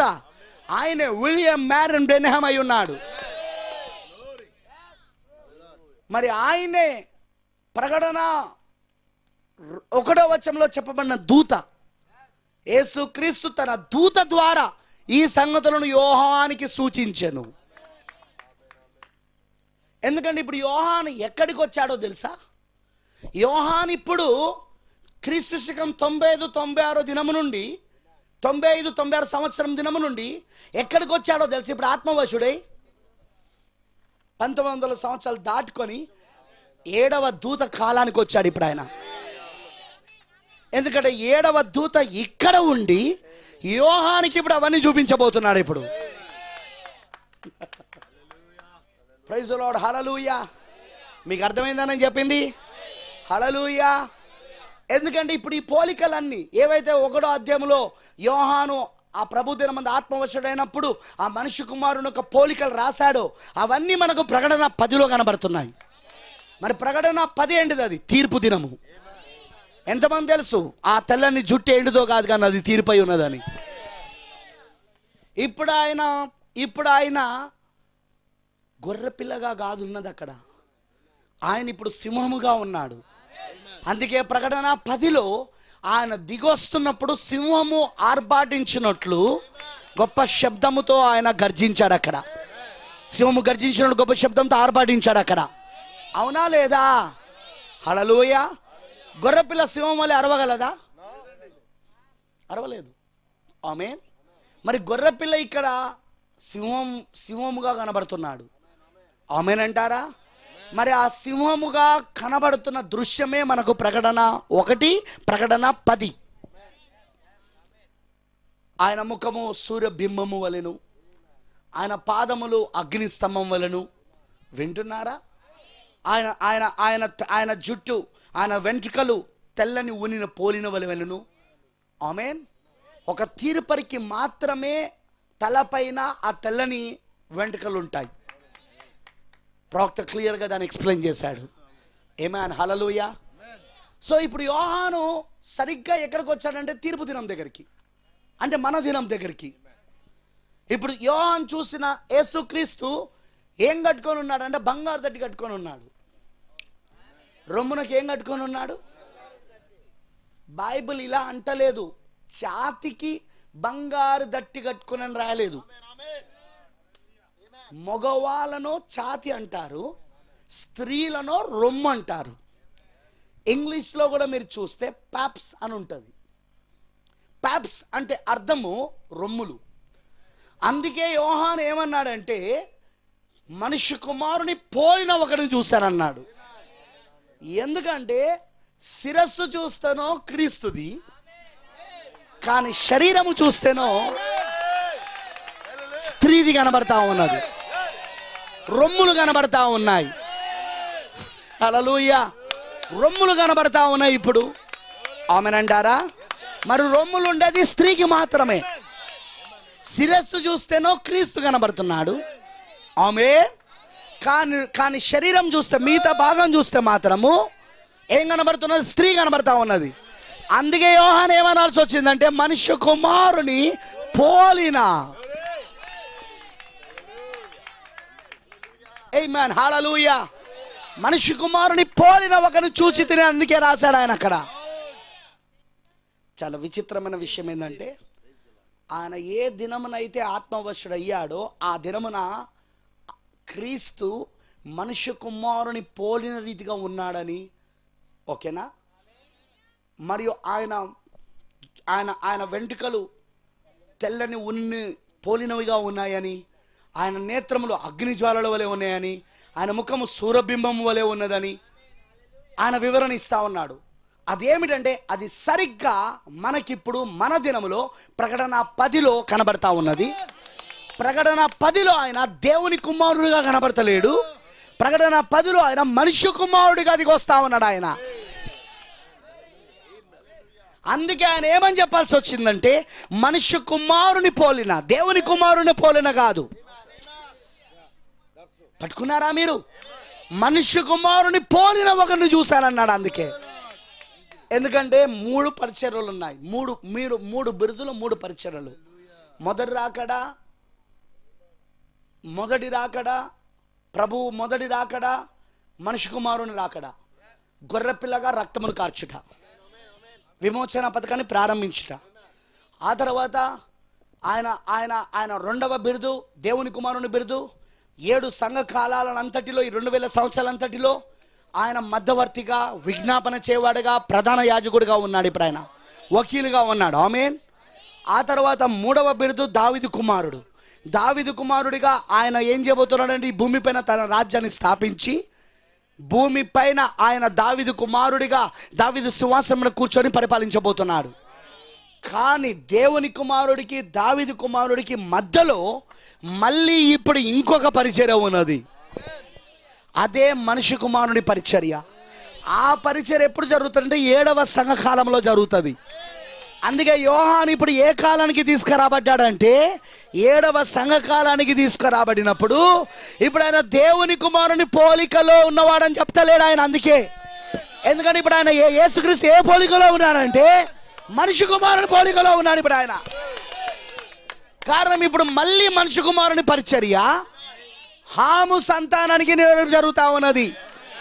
మొదటి రాకడలో షేము యాపెదు సంతానానికి అయిపోయింది. ఇజ్రాయలు మరియు సమరలకు అయిపోయింది. ఇప్పుడు రెండవ రాకడలో హాము సంతానం అనగా అన్యుల చెల్లులైన మనకు నెరవేరు జరుగుతా ఉన్నది. ఆది కాలం పద్దెనిమిది నెరవేరు జరుగుతా ఉన్నది. లూకా పదిహేడు అర్థం ఇరవై ఆరు నుండి ముప్పై వచ్చిన నెరవేరు జరుగుతా ఉన్నది ఇప్పుడు. యోహాన్ ఇప్పుడు ఏ దినానికి కొనిపోబడ్డాడంటే ఏ దినములో ఆయన ఆత్మవశుడయ్యాడంటే మన దినముల. పట్టుకున్నారా మీరు? యోహాన్ ఇప్పుడు మన దినములో మన దినమునకు వచ్చాడు ఇప్పుడు. మనమున్న ఈ దినమునకు.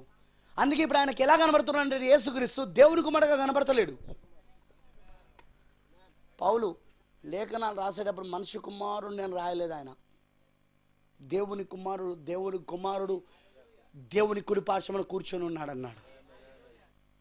అలానే ప్రకటన అలానే మనము అపోస్తల వెళ్తే అక్కడ స్టెఫెన్ కూడా ఇదిగో ఆకాశము తెరబడుటయు దేవుని కుమారుడు కుడి పార్శ్వమున కూర్చునుటయు నేను చూచి తిని అన్నాడు.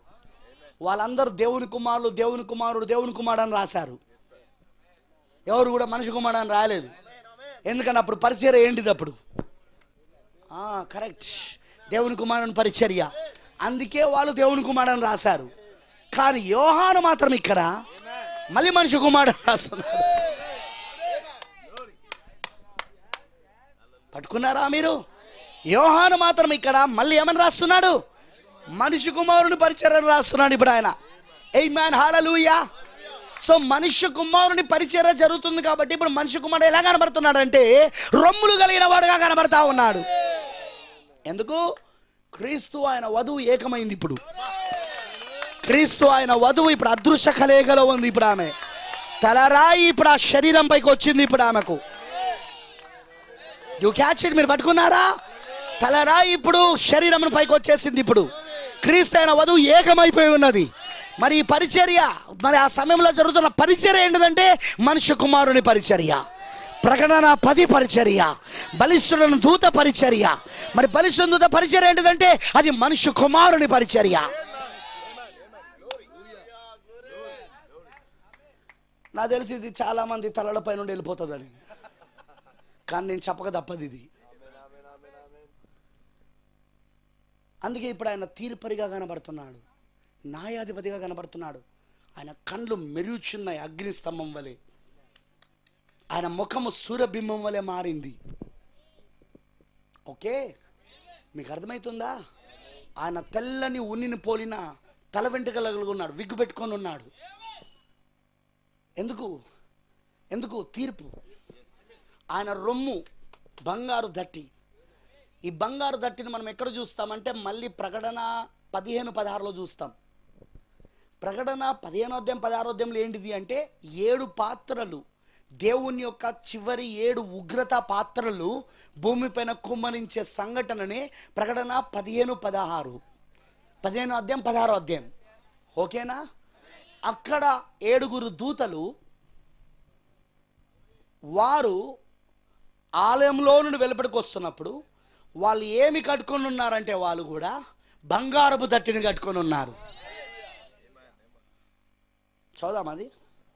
చదివితే బాగుంటుందేమో అని అనుకుంటున్నాను. ఓకే ఒకసారి చూద్దాం. నేను కొత్త బైబిల్ తీసుకొచ్చేసానయ్యా. కొంచెం మీరే చూడండి. రైట్ పదిహేను అధ్యాయము ఆరో వచ్చినము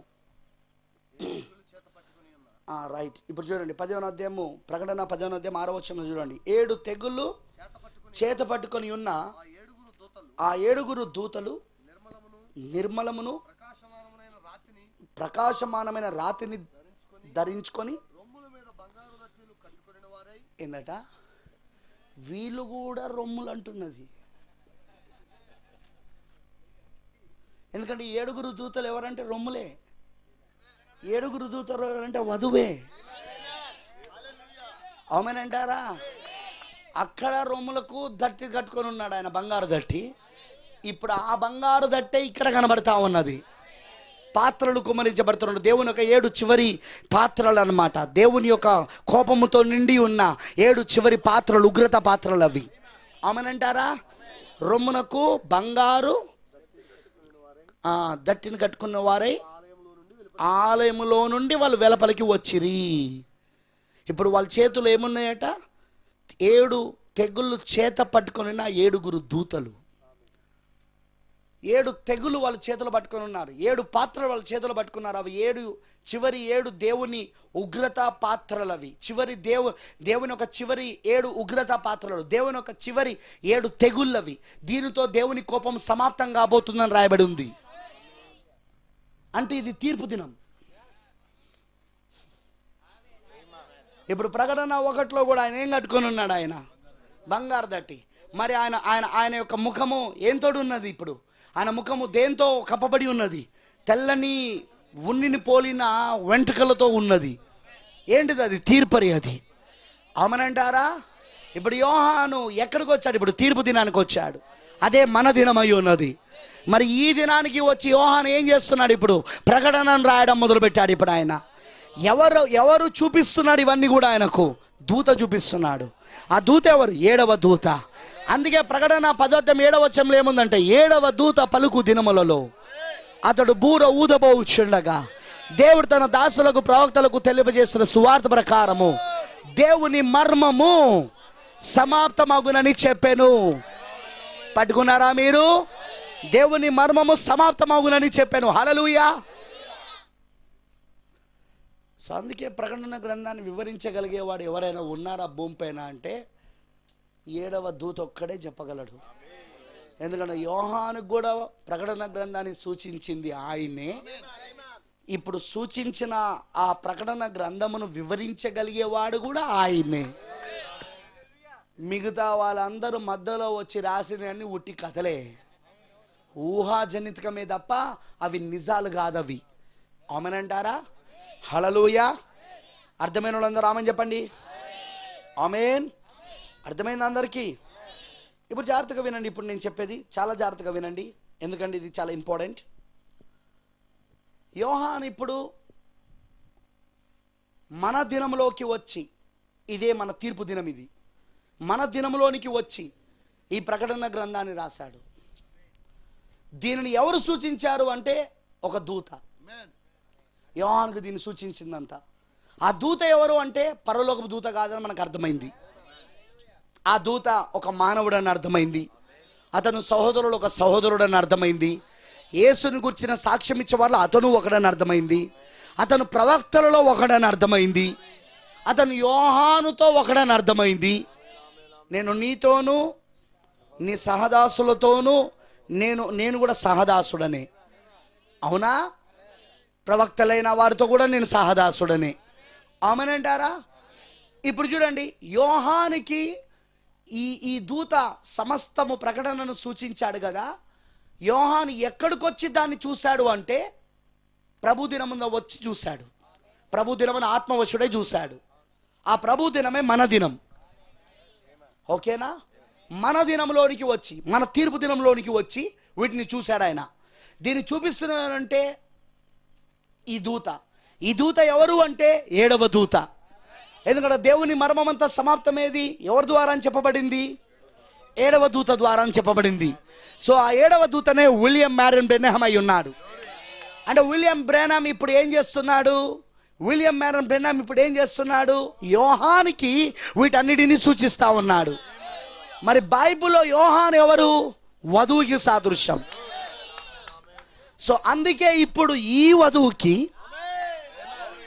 ఈ పెళ్ళి కుమార్తెకి ఆ ఏడవ దూత అవునంటారా ఆ విలియం మ్యారన్ బెన్హాము ఇప్పుడు ప్రకటన గ్రంథాన్ని అంతటిని సూచిస్తా ఉన్నాడు.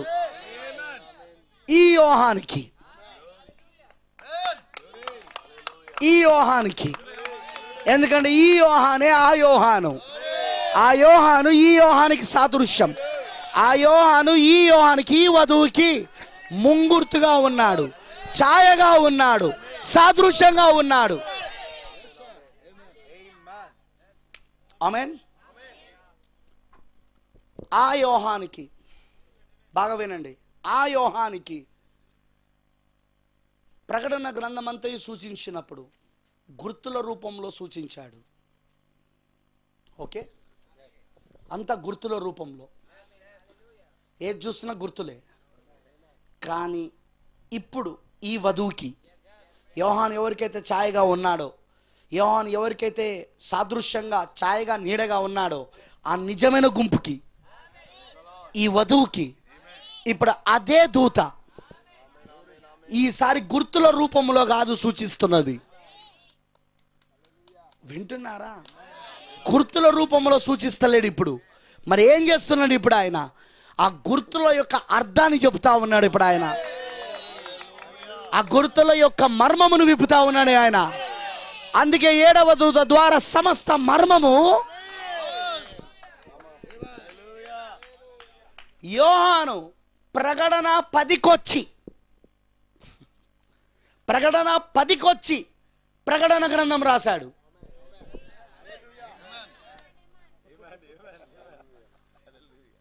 ఇప్పుడు ప్రకటన పదిలో ఏడవ దూతున్నాడు ప్రకటన పదిలో. ఇప్పుడు ఏడవ దూత ఏం చేస్తున్నాడు? యోహాను ఎవరికైతే సాదృశ్యంగా ఉన్నాడో యోహాను ఎవరికైతే ఛాయగా నీడగా ఉన్నాడో ఆ నిజమైన వధువుకి ఆ పెళ్ళి కుమార్తెకు ఆ నిజ స్వరూపంలో ఉన్న పెళ్ళి కుమార్తెకు ఇప్పుడు చ- ఇప్పుడు ఆయన గుర్తులను కాదు సూచిస్తున్నది. ఆ గుర్తుల యొక్క మర్మమును విప్పి నిజ రూపాన్ని చూపిస్తా ఉన్నాడు అక్కడ.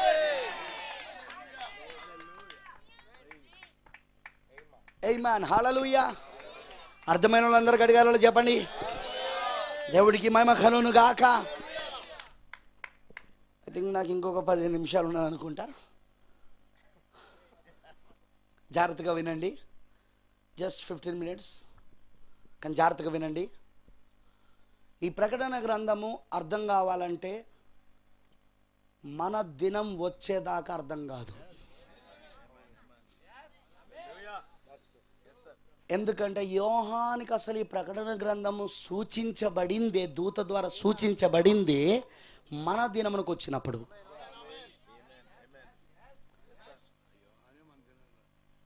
కరెక్ట్. ఆ యోహానే మన దినమునికి రావాలా? ప్రకటన గ్రంథం రాయాలంటే. మనం ఎంత ధనులం ఇప్పుడు బా మనమెంత దీవించబడిన వాళ్ళం. ముందుకు పోవాల్సిన అవసరం లేదు వెనకపోవాల్సిన అవసరం లేదు. మన దినములో ఉన్న వర్తమానం అర్థం చేసుకుంటే చాలు. అమేన్ యోహాను ఈ ప్రకటన గ్రంథం రాయాలంటే మన దినం దగ్గరికి రావాల్సిందే. యోహాను మన దినమునకొచ్చి ప్రకటన గ్రంథాన్ని రాశాడు.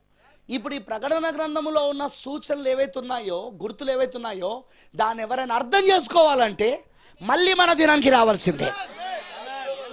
అందుకే ప్రవక్త అన్నాడు ఫ్రమ్ టూ థౌజండ్ ఇయర్స్ రెండు వేల సంవత్సరాల నుండి ఈ పుస్తకము మరుగుగా ఉన్నది. ఈ పుస్తకము ముద్రించబడి ఉన్నది. ఈ పుస్తకము దీని మర్మములు ఎవరికి తెలవనిగా ఉన్నాయి. అంటిల్ సెవెంత్ ఏంజిల్ ఏడవ దూత వచ్చు వరకు ఈ మర్మం అంతా బడికి రాదు అన్నాడు ఆయన. ఏ మ్యాన్ హలలుయా మీకు అర్థమైందా ఇప్పుడు? మీ కాల వర్తమానం ఏంటో అర్థమైందా? ఏసుకి సంభాసం దేవుడు ఒక్కడే విలియం ప్రవక్త నేను పక్షిరాజు పిల్లను. ఓ ఆమె హల్లెలూయా ఎత్తపడతా అది ఆది అపోస్తుల బోధ. మన కాల బోధ కాదు. మరి మన కాల బోధలో అది ఎందుకు వచ్చిందంటే ఈయన ఏలియా కదా? పడిపోయిన బలిపీఠాన్ని ఏం చేయాలా? పునాది దగ్గర నుండి కట్టుకుంటూ రావాలా? అందుకే మళ్ళీ ఆది అపోస్తుల బోధను కొత్తగా చెప్పలేదు. ఉన్నదాన్ని మళ్ళీ సమకూర్చాడు ఆయన.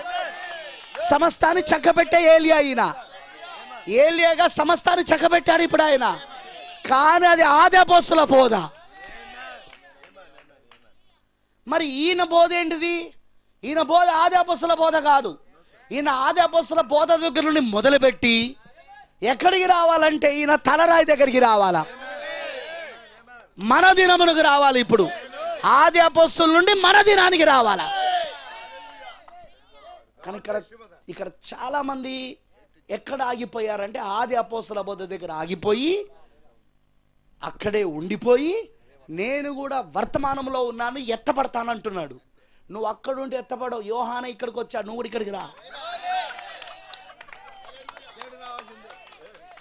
జాగ్రత్త వినండి. యోహాను ఎప్పుడు ఆత్మవశుడేవడో తెలుసా? ప్రభు దినమందున. అంటే మన దినమందున. నువ్వు ఎత్తబడాలంటే ఎప్పుడు ఆత్మ ఎప్పుడు వస్తావో తెలుసా? మన దినానికి మన కాలవర్తమానానికి రావాలా? మన దినము మన కాల వర్తమానమే తలరాయి వర్తమానం. ఎందుకంటే ప్రకటన ఒకటిలో చూసింది తలరాయినే కదా. రొమ్మును చూశాడు స్త్రీని చూశాడు శిరస్సున పురుషుని చూశాడు. మనిషి కుమారుని పోలిన అన్నాడు అందుకే.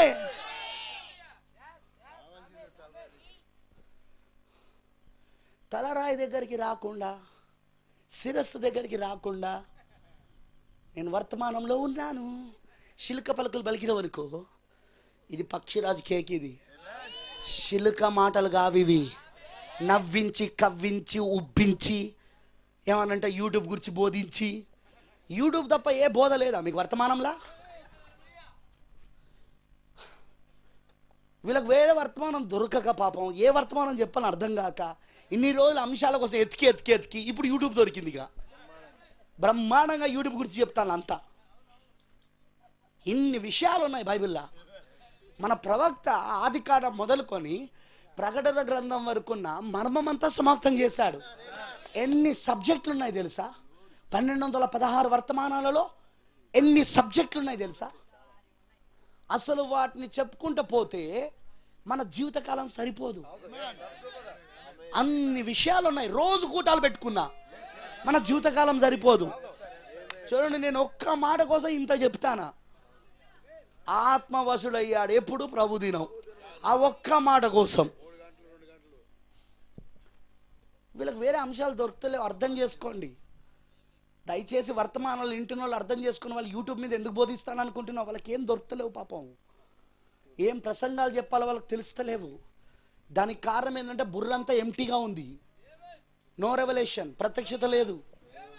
అదే ప్రత్యక్షతతో బోధించడం అని టార్గెట్ చేసి కొట్టేయడం వాడిని వాని వాని ఏకే ఫర్డ్స్ అని తీసుకొని కాల్చి పెడతాడు. కానీ కాలిస్తే ఇక్కడ షీల్డ్ లేదు. మన కేడం ఆయననే. యహోవయే నా కేడము యహోవయే నా కోట. యహోవయే నా కొండ. వాళ్ళు ఎంత కలిసినా మనకు తగలవు. దానికి కారణం ఏంటిదంటే ఆయన మనల్ని ఆవరించుకొని ఉన్నాడు. ఇంత గొప్ప సాక్షి సమూహము మేఘము వలె మనను ఆవరించి ఉన్నందున ఎబ్రి పన్నెండో అధ్యమ కూడా వచ్చిన ప్రకారముగా మనము కూడా ఉంటుంది అక్కడ. హలలుయా సులువుగా చిక్కుబెట్టు ఏ పాపమునకు కూడా మనము పడిపోకుండా ఉండడానికి యేసు వైపు చూస్తూ మన విశ్వాసమునకు కర్తయు దాన్ని కొనసాగించేవాడైన యేసు వైపు చూస్తూ ముందుకు వెళ్దామంటున్నాడు. యేసు వైపు చూడడం అంటే ఇప్పుడు ఎక్కడ తెలుసా? ఆ ఫోటోలోనే యేసు వైపు కాదు మేఘం వైపు చూడడం. ఎందుకంటే పౌలు గారు అక్కడ మేఘం గురిచే రాస్తా ఉన్నాడు. అది సాక్షి సమూహపు మేఘం అది. ఈ మేఘం వైపు చూస్తూ ముందుకెళ్ళడమే దేని చూడకూడదు? మేఘం వైపే చూడాలా మనం? మేఘం వైపే చూసుకుంటూ వెళ్ళిపోవాలా మనం? ప్రేమైన దేవుని పిల్లలారా గుర్తుంచుకోండి యోహానుకి ఈ పుస్తకము సూచించబడింది మన దినమున. అందుకే మన దినం వచ్చేదాకా దీని మర్మం తెరవబడదు. మన దినం వచ్చినాకనే దీని మర్మం తెరవబడుతుంది.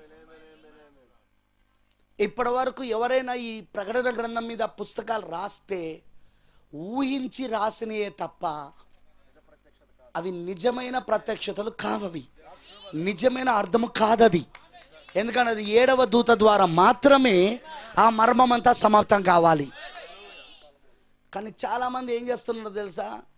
వాళ్ళ పుస్తకాలు వీళ్ళ పుస్తకాలు కొనుక్కొని ఆ పుస్తకాలు చదివి ఆ పుస్తకాలను మెసేజ్లో బోధిస్తున్నారు.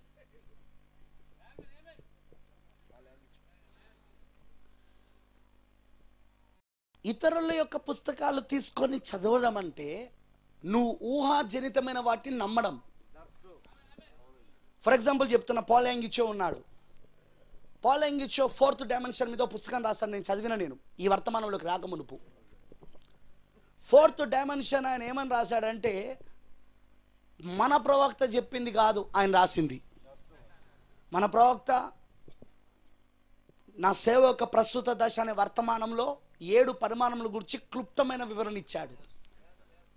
మొదటిది వెలుగని రెండవది పదార్థమని మూడవది కాలమని నాలుగవది విజ్ఞాన శాస్త్రమని ఐదవది పాతాళమని ఆరవది పరదేశని ఏడవది పరలోకమని. వివరణ ఇచ్చారు దాంట్లో. కానీ నాలుగో పరిమాణం గురించి పాలెంగిచ్చో అన్నది ఏంటిదంటే అది అది సైన్స్ అని చెప్పలేదు ఆయన. అది పరలోకం అని చెప్పాడు. మొన్న బెన్నిహిన్ కూడా యూట్యూబ్లో ఉంది. ఫోర్త్ డైమెన్షన్ గురించి వివరిస్తూ బెన్నిహిన్. ఏమని చెప్పాడో తెలుసా? బెన్నీన్ ఏమని చెప్పాడంటే ఫోర్త్ డైమెన్షన్ అనేది అది పరలోకం అని చెప్పాడు.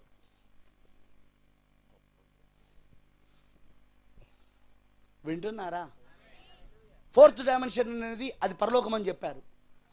ఇప్పుడు అలాంటి ఊహాజనితమైన వారి యొక్క పుస్తకాలు చదివి ఇప్పుడు బోధిస్తే వధువుని మోసం చేయడమే. సరే మీకు ప్రశ్న రావచ్చు. అవెందుకు చదువుతాను వీళ్ళు అంటే అవి సులువుగా అర్థమవుతాయి. ఇప్పుడు నేను కొన్ని పుస్తకాల పేర్లు చెప్తాను జాగ్రత్త వినండి. నేను కొన్ని పుస్తకాల పేర్లు చెప్తాను. ఏడు సంఘకాలాలు అర్థం కాదు. ఏడు ముద్రలు అసలే అర్థం కాదు ఏడో ముద్ర అయితే ధాన్యాలు డెబ్బై వారాలు అది మన గానే కాదు అది. అది మనది కాదు అది దానియేలు ప్రజలకు అది భవిష్యత్తు గృహం. ఏహే, అది మంది కాదు అది. భవిష్యత్తు గృహం. బూరల పండుగ. అది మనకెందుకు? ఏడు పాత్రలు. అస్సలే వద్దు మనకు అది ఇవి అర్థం చాలా కష్టం కదా. అందుకే వీటిని చదివి చెప్పలేరు. అదే పాలాంగిచో రాసిన నాలుగో డైమెన్షన్ పుస్తకం? అబ్బబ్బబ్బబ్బబ్బా. ఎంత బాగా అర్థమవుతుందో. దాన్ని చెప్పడం ఈజీ ఇప్పుడు. కానీ నువ్వు చెప్తున్నది ఒక అబద్ధమైన బోధ అని తెలుసా? ఏడవ దూత రాకమునుపు ప్రవక్త అన్నాడు ఏడవ దూత రాకమునుపు ఆ ప్రవచనం ప్రకటన పది ఏడు నెరవేరు జరగక మునుపు దేవుడు చూసి చూడనట్టుగా విడిచిపెట్టాడు ఆయన. కానీ ఇప్పుడు ఆయన చూస్తున్నాడు. కళ్ళు కనబడతా ఉన్నాయి ఇప్పుడు ఆయన ఎవరెవరు ఏం చేస్తున్నారో చూస్తున్నాడు ఇప్పుడు ఆయన. అప్పుడు ఆయన చూసి చూడనట్టుగా ఊరుకున్నాడు ఆయన. కానీ ఇప్పుడు అలా కాదు ఆయన. చూస్తున్నాడు ఇప్పుడు ఆయన నేత్రాలు. నువ్వు ఏం చదువుతున్నావు ఏం బోధిస్తా ఉన్నావు? ఏడవ దూత వర్తమానం తప్ప వేరే చెప్పడానికి వీల్లేదు. ఈ మధ్యలో కొత్త బోధ వచ్చింది ఎంటే మెసేజ్లో ఆ బోధ ఎంతో చెప్తాను వినండి. మీ దాకా వచ్చిందో లేదో నా తెలియదు వస్తుంది అందుకే మీకు ముందే చెప్తానా? ఒకవేళ వచ్చి ఉంటుంది ఎట్లా తప్ప మీరు అర్థం చేసుకోండి. ఆ బోధ ఏంటిదంటే మనం అందరినీ ప్రేమించాలి. We have to love everybody దైవిక ప్రేమ అంటే అర్థం ఏంటిదట అంటే సహోదర ప్రేమ అంటే అర్థం ఏంటిదట అంటే అందరినీ ప్రేమించాలి. శత్రువుని సైతము ప్రేమించాలని ఉంది కాబట్టి నువ్వు అందరినీ ప్రేమించాలి అని చెప్తూ ఏమంటున్నారంటే యేసుక్రీస్తు దైవిక ప్రేమ కదా? దైవిక ప్రేమ ఎవరు? పర్సన్. దైవిక ప్రేమ ఏంటిది? ఒక వ్యక్తి. ఆయనే యేసుక్రీస్తు అయి ఉన్నాడు. ఓకేనా? యేసుక్రీస్తు ఎవరు? దైవిక ప్రేమనే కదా? శిరస్సు ఆయననే కదా? ఇప్పుడు ఆయన వచ్చి శాస్త్రం పరిశీలన ఏమన్నాడు ఆయన? సర్పములారా సర్ప సంతానమా రాబోయే ఉగ్రత నుండి తప్పించుకొని మీకు బుద్ధి చెప్పేవాడు ఎవడు? అని యోహాను చెప్పాడు యేసుక్రీస్తు కూడా చెప్పాడు. రెండు ఇద్దరు ఒకే మాట చెప్పారు. ఓకేనా? సున్నము కొట్టిన సమాధుల్లారా? అన్నాడా? వాళ్ళు ఎవరు రివరెండ్లు వాళ్ళు. ఒక్కొక్కరు రెవరెండ్లు బిషప్లు వాళ్ళని పట్టుకొని ఏమంటున్నాడు? సున్నము కొట్టిన సమాధులారా గుడ్డివార్లారా. గుడ్డి మార్గదర్శకులారా ఎన్నో మాటలు అన్నాడు వాళ్ళను. ఎవరన్నారు? దైవిక ప్రేమ అన్నది. అయితే దాని గురించి వివరణ ఎట్లా ఇస్తాను తెలుసా? ఇప్పుడు ఏంటో మెసేజ్లా యేసుక్రీస్తుకు ఎవరు సర్ప సంతానమో ఎవరు దేవుని సంతానమో తెలుసు కాబట్టి ఆయన అలా అన్నాడు. యోహాను ప్రవక్త కాబట్టి ఆయనకు కూడా ఎవరు సర్ప సంతానమో ఎవరు దేవుని సంతానమో తెలుసు కాబట్టి ఆయన అలా అన్నాడు. విలియం బ్రెన్నాం గారికి కూడా ఎవరు సర్ప సంతానమో ఎవరు దేవుని సంతానమో తెలుసు కాబట్టి ముఖ్యంగా ఈస్ట్ గోదావరి వెస్ట్ గోదావరిలో తిరుగుతుంది బోధ. ఫేమస్ ప్రీచర్స్ అక్కడ బోధిస్తాను దీన్ని. అక్కడ ఫేమస్ ప్రీచర్స్ కాబట్టి ఆయన అన్నాడు. మనకు తెలియదుగా ఏమో ఒకడు తొంభై సంవత్సరాలకు మారొచ్చు. ఏమో ఒక ఆమె ఇప్పుడు లిప్స్టిక్ రాసుకొని పదేళ్ళకు లిప్స్టిక్ తీసేస్తుంది కావచ్చు. కాబట్టి మనం ఎవరిని ఏమనొద్దు. ఓకే. బోధిస్తుంది నువ్వా పరిశుద్ధాత్మన? హూ ఈ స్పీకింగ్ ఎవరు మాట్లాడుతున్నారు? నువ్వు బోధిస్తే నిజంగానే ఎవరి గురించి ఎవరికి మనకు తెలియదు. ఈరోజు నిలబడినోడు రేపు పడిపోవచ్చు. ఈరోజు పడిపోయి ఉన్నవాడు రేపు నిలబడొచ్చు. ఎందుకు? అది మనకు తెలియదు ఆ విషయం. కానీ బోధిస్తున్నది మనం కాదు కదా. మాట్లాడుచున్నది మీరు కాదు కానీ నా తండ్రి ఆత్మ మీలో ఉండి మాట్లాడు అన్నాడు. ఇప్పుడు యేసు క్రీస్తులో ఉన్న పరిశుద్ధాత్మనే ప్రవక్తలలో ఉన్న పరిశుద్ధాత్మనే విలియం బ్రెనామ్లో ఉన్న పరిశుద్ధాత్మనే వధువులో ఉన్నది ఇప్పుడు. ఐదు రకాల పరిచయంలో ఉన్నది ఇప్పుడు. ఆయనకు తెలియదా ఎవరు సర్వసంతానమో? సంతానమో ఆయనకు తెలియదా ఎవరు దేవుని సంతానమో? ఆయన ఖండించడంలో తప్పేమున్నది ఇప్పుడు? దైవిక ప్రేమకు తప్పుడు అర్థాలు చెప్తున్న దయ్యం బోధకులారా. దైవిక ప్రేమకు తప్పుడు అర్థాలు చెప్తున్నారు. తప్పుడు బోధకులు వీళ్ళు. తప్పుడు అభిషేకాలు కలిగిన వాళ్ళు. సంఘాలను సమకూర్చుకోవాలని ఇప్పుడున్న ఐదు రకాల పరిచర్యలు. నేను త్వరలో ఒక మీటింగ్స్ పెడుతున్నాను. ఆ మీటింగ్స్ వీడియోస్ తప్పకుండా వినండి. ఇప్పుడున్న ఐదు రకాల పరిచర్యలు సంఘాన్ని కట్టుకోవడానికి కాదు వధువుని సిద్ధపరచడానికి. సంఘంలో మూడు గుంపులు ఉంటాయి. మూడు రకాల విశ్వాసంలో చెప్పాడు ప్రవక్త. సంఘంలో మూడు రకాలు ఉంటారు. విశ్వాసులు ఉంటారు అవిశ్వాసులు ఉంటారు నటించే విశ్వాసులు వేషధారులు ఉంటారు. కానీ ఇప్పుడు వాక్యం వచ్చింది. మెలకసేదకు వాక్యం వచ్చింది. ఎందుకు వచ్చింది? విశ్వాసులను అవిశ్వాసులను వేషధారులను వేరుపరచడానికి. ఇది సంఘము కట్టే పరిచర్య కాదు. దట్స్ రైట్ రైట్ క్రీస్తు శరీరము. క్రీస్తు శరీరం అంటే సంఘం కాదు వధువు. క్రీస్తు శరీరం అంటే వధువు అయి ఉన్నది. వధువు ఒక క్షేమాభివృద్ధి కోసమే. పరిశుద్ధులు సంపూర్ణులు అవడానికే ఈ ఐదు రకాల పరిచయం దేవుడిచ్చాడు ఇక్కడ. మళ్ళీ మనం మెలకసెదకు యొక్క క్రమంలోని యాజకత్వానికి వచ్చినాం. ఈ యాజకత్వం అర్థం కావట్లేదు వీళ్ళకి ఈ రోజున. ఎంటైమేషన్లో ఉన్న వారికే. ఆరోను యాజకత్వం ఆరోను క్రమంలోని యాజకత్వం సంఘాలు కట్టడం సంస్థలను కట్టడం బిషప్పులుగా తయారవ్వడం పది మంది పాస్టర్ని కింద పెట్టుకొని రౌడీలాగా తిరగడం. ఆ పాసర్ ఎవరన్నా అంటే ఆ పాసర్ కాదు పక్కకున్న పాసర్ కొడతాడు. వీడికేం బాధను? మా బిషప్ని ఇంత అంటావా అని. అది పిడిపోతాం వాళ్ళని చూసి నేను జాలి పడుతున్నా. ఎందుకంటే వాళ్ళు ఏం పరిచయంలో ఉన్నారో కూడా వాళ్ళకి తెలియదు. ఇది ఇప్పుడు పంతొమ్మిది వందల అరవై మూడు నుండి పరిచయం మారింది. నేను మీకు దాని వివరణ త్వరలో జరగబోయే మీటింగ్స్లో ఇస్తాను. I'm going to preach on those subjects compulsory మీరు వినండి. ఎందుకంటే నువ్వు ఏ పరిచర్యలో ఉన్నావో తెలియకుండా నువ్వు పరిచర్య చేసినా నరకం పోతావు. నువ్వు ఏ పరిచర్య కింద ఉండి ఇప్పుడు జీవిస్తున్నావో తెలవకుండా ఉన్నా నువ్వు నరకం పోతావు. మనం ఇప్పుడు మెలకసెదకు క్రమం యొక్క పరిచయలోకి వచ్చినాం. మెలకసెదకు యొక్క పరిచర్య కింగ్ థియోఫనీ. రాజైన థియోఫనీ రాజైన థియోఫనీ ప్రధాన యాజకుడు ప్రత్యక్షమైన కాలం ఇది. ఆయన ప్రధాన యాజకుడు ప్రత్యక్షమయ్యాడు ఇప్పుడు ఆయన. వింటున్నారా? ఆ పరిచయలో ఉన్నాం ఇప్పుడు మనము. అమేన్ ఇప్పుడు ఆ కింగ్ థియోఫనీ ఆ రాజైన థియోఫనీ యొక్క పరిచయలో మనం ఇప్పుడు నడిపించబడుతున్నాం మనం.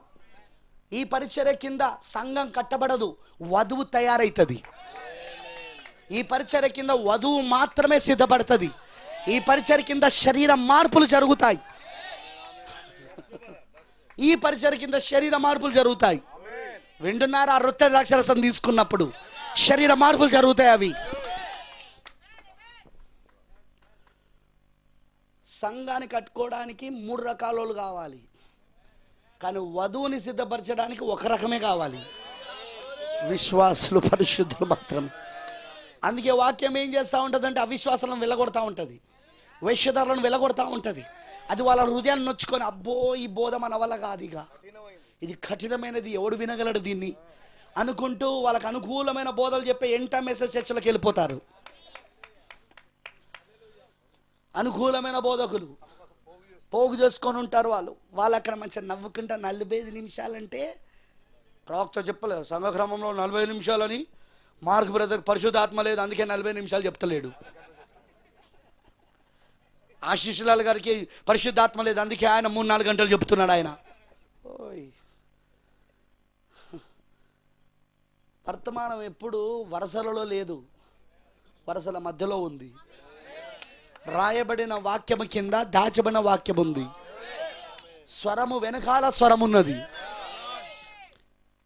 There is a voice in the voice స్వరములో స్వరం ఉంటుంది నువ్వు వినగలిగిన చెవులు ఏంటో తెలుసా? చూడండి మీ స్వరం అందరు వింటాను కానీ ఆత్మ చెప్పుచున్న మాట చెవి గలవాడు వినును గాక అన్నాడు. ఈ చె- ఈ చెవులు కాదు ఈ స్వరం కాదు. స్వరము లోబడి ఉన్న స్వరం అది. ఆ చెవులు ఆత్మ సంబంధమైన చెవులు అవి. ఆ స్వరము లోబడి ఉన్న స్వరాన్ని పట్టుకోగలిగిన వాడే ప్రత్యక్షత. వాళ్ళే వధువై ఉన్నారు. ఇక మిగతా వాళ్ళు ఏందో ఏంటో మీరు డ్యాష్ డ్యాష్ డ్యాష్ డ్యాష్ పెట్టుకోవచ్చు. నేను నాతో నా నోటితో అంటే అందరూ అలా అంటాను ఏందంటున్నారు? వధువుగానో లేవంటో dash dash dash dash dash. నీకు ఫోన్ చేస్తాను. ప్రియమైన ధోని పిల్లలారా నేను వధువు కాని వాళ్ళ గురించి మాట్లాడుతున్నాను. వధువుని గురించి మాట్లాడతలేను. నేను ఎప్పుడు వధువుని వెధవా అని అనలేదు నేను ఎప్పుడు. నేను వధువు కాని వారిని వెధవా అన్నా. సరే మనం అంటాం. పక్షిరాజు కాని వాళ్ళని ఏమంటాం మనం? కోడి పిల్లలు అంటాం. అంటవా అనవా విత్తనం కానీ ఏమంటావు నువ్వు?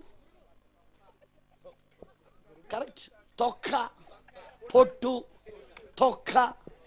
విత్తనం కాందాని అవునా? ఇప్పుడు వధువు గాంధీ వెధవ అంటానా? తప్పేముంది? ఇందులో నేనేం తప్పైనా మాట్లాడుతున్నానా? కానీ కొంతమందికి నొచ్చుకుంటాంది. ఐ నో వాళ్ళకు ఎందుకు నొచ్చుకుంటానో నాకు అర్థం కావట్లేదు. పొట్టు అని పెంతకోస్తలను డైరెక్ట్గా అన్నాడు. పాపం వాళ్ళు ఎంత నొచ్చుకున్నారో. పెంతకోస్తు వారులారా మీరు పొట్టై ఉన్నారన్నాడు. అందుకే ముందు మీ ఉద్యమమే వచ్చిందన్నాడు. పొట్టులో ఏం ఏర్పడుతుంది విత్తనం ఏర్పడుతుంది. అందుకే ఆ పెంతకోస్తలో నుండి బయటికి వచ్చిందే విత్తనం అయి ఉన్నది. ఐ మ్యాన్ హలలోయ ఇవన్నీ చాలా క్లారిటీగా ప్రవక్త చెప్పిన మెసేజ్లు ఇవి. ప్రేమను దోని పిల్లలారా ఒక్కటి గుర్తుంచుకోండి ఈ మర్మం అర్థం కావాలంటే ఈ తెరవబడిన పుస్తకం అర్థం కావాలంటే ఈ ప్రకటన గ్రంథం అర్థం కావాలంటే మన దినానికి రావాల్సిందే. మన దినంలోన ఏడవ దూత దగ్గరికి రావాల్సిందే. ఏడవ దూత ద్వారా మాత్రమే అవి వస్తాయి అవి. మరి ఏడవ దూత చెప్పింది తప్ప వేరే చెప్పడానికి వీలు లేదు. ప్రవక్త మన టేపులు బోధించినవే మనం బోధించాలన్నాడు. కొందరు అంటున్నారు ప్రవక్త చెప్పింది మనం చెప్పకూడదట. కాపరట ప్రవక్త చెప్పింది చెప్పడట. ఎంత అబద్ధ బోధన అండి వాక్యం ప్రవక్త దగ్గరకు వస్తుందా కాపర్ దగ్గరకు వస్తుందా? ఆమోసు మూడేడు ప్రకారముగా వాక్యం ప్రవక్తల దగ్గరకు వస్తుంది. మన కాలానికి దేవుడు ఒక ప్రవక్తను పంపాడా? అయితే వాక్యం ఇప్పుడు ఎవరి దగ్గరకు వచ్చింది ఇప్పుడు? ప్రవక్త దగ్గరకు వచ్చింది మన కాలంలో సో ఇప్పుడు వాక్యం బోధించాలంటే ఎవరిది బోధించాలి ఇప్పుడు నువ్వు? మన కాలంలో వచ్చిన ప్రవక్త దగ్గరకు వచ్చిన వాక్యానే బోధించాలా నువ్వు? మరి ప్రవక్త బోధించొద్దంటే అర్థం ఏంటిది ఇప్పుడు? వీడు సంఘాన్ని మోసం చేస్తున్న అబద్ధ బోధకుడు.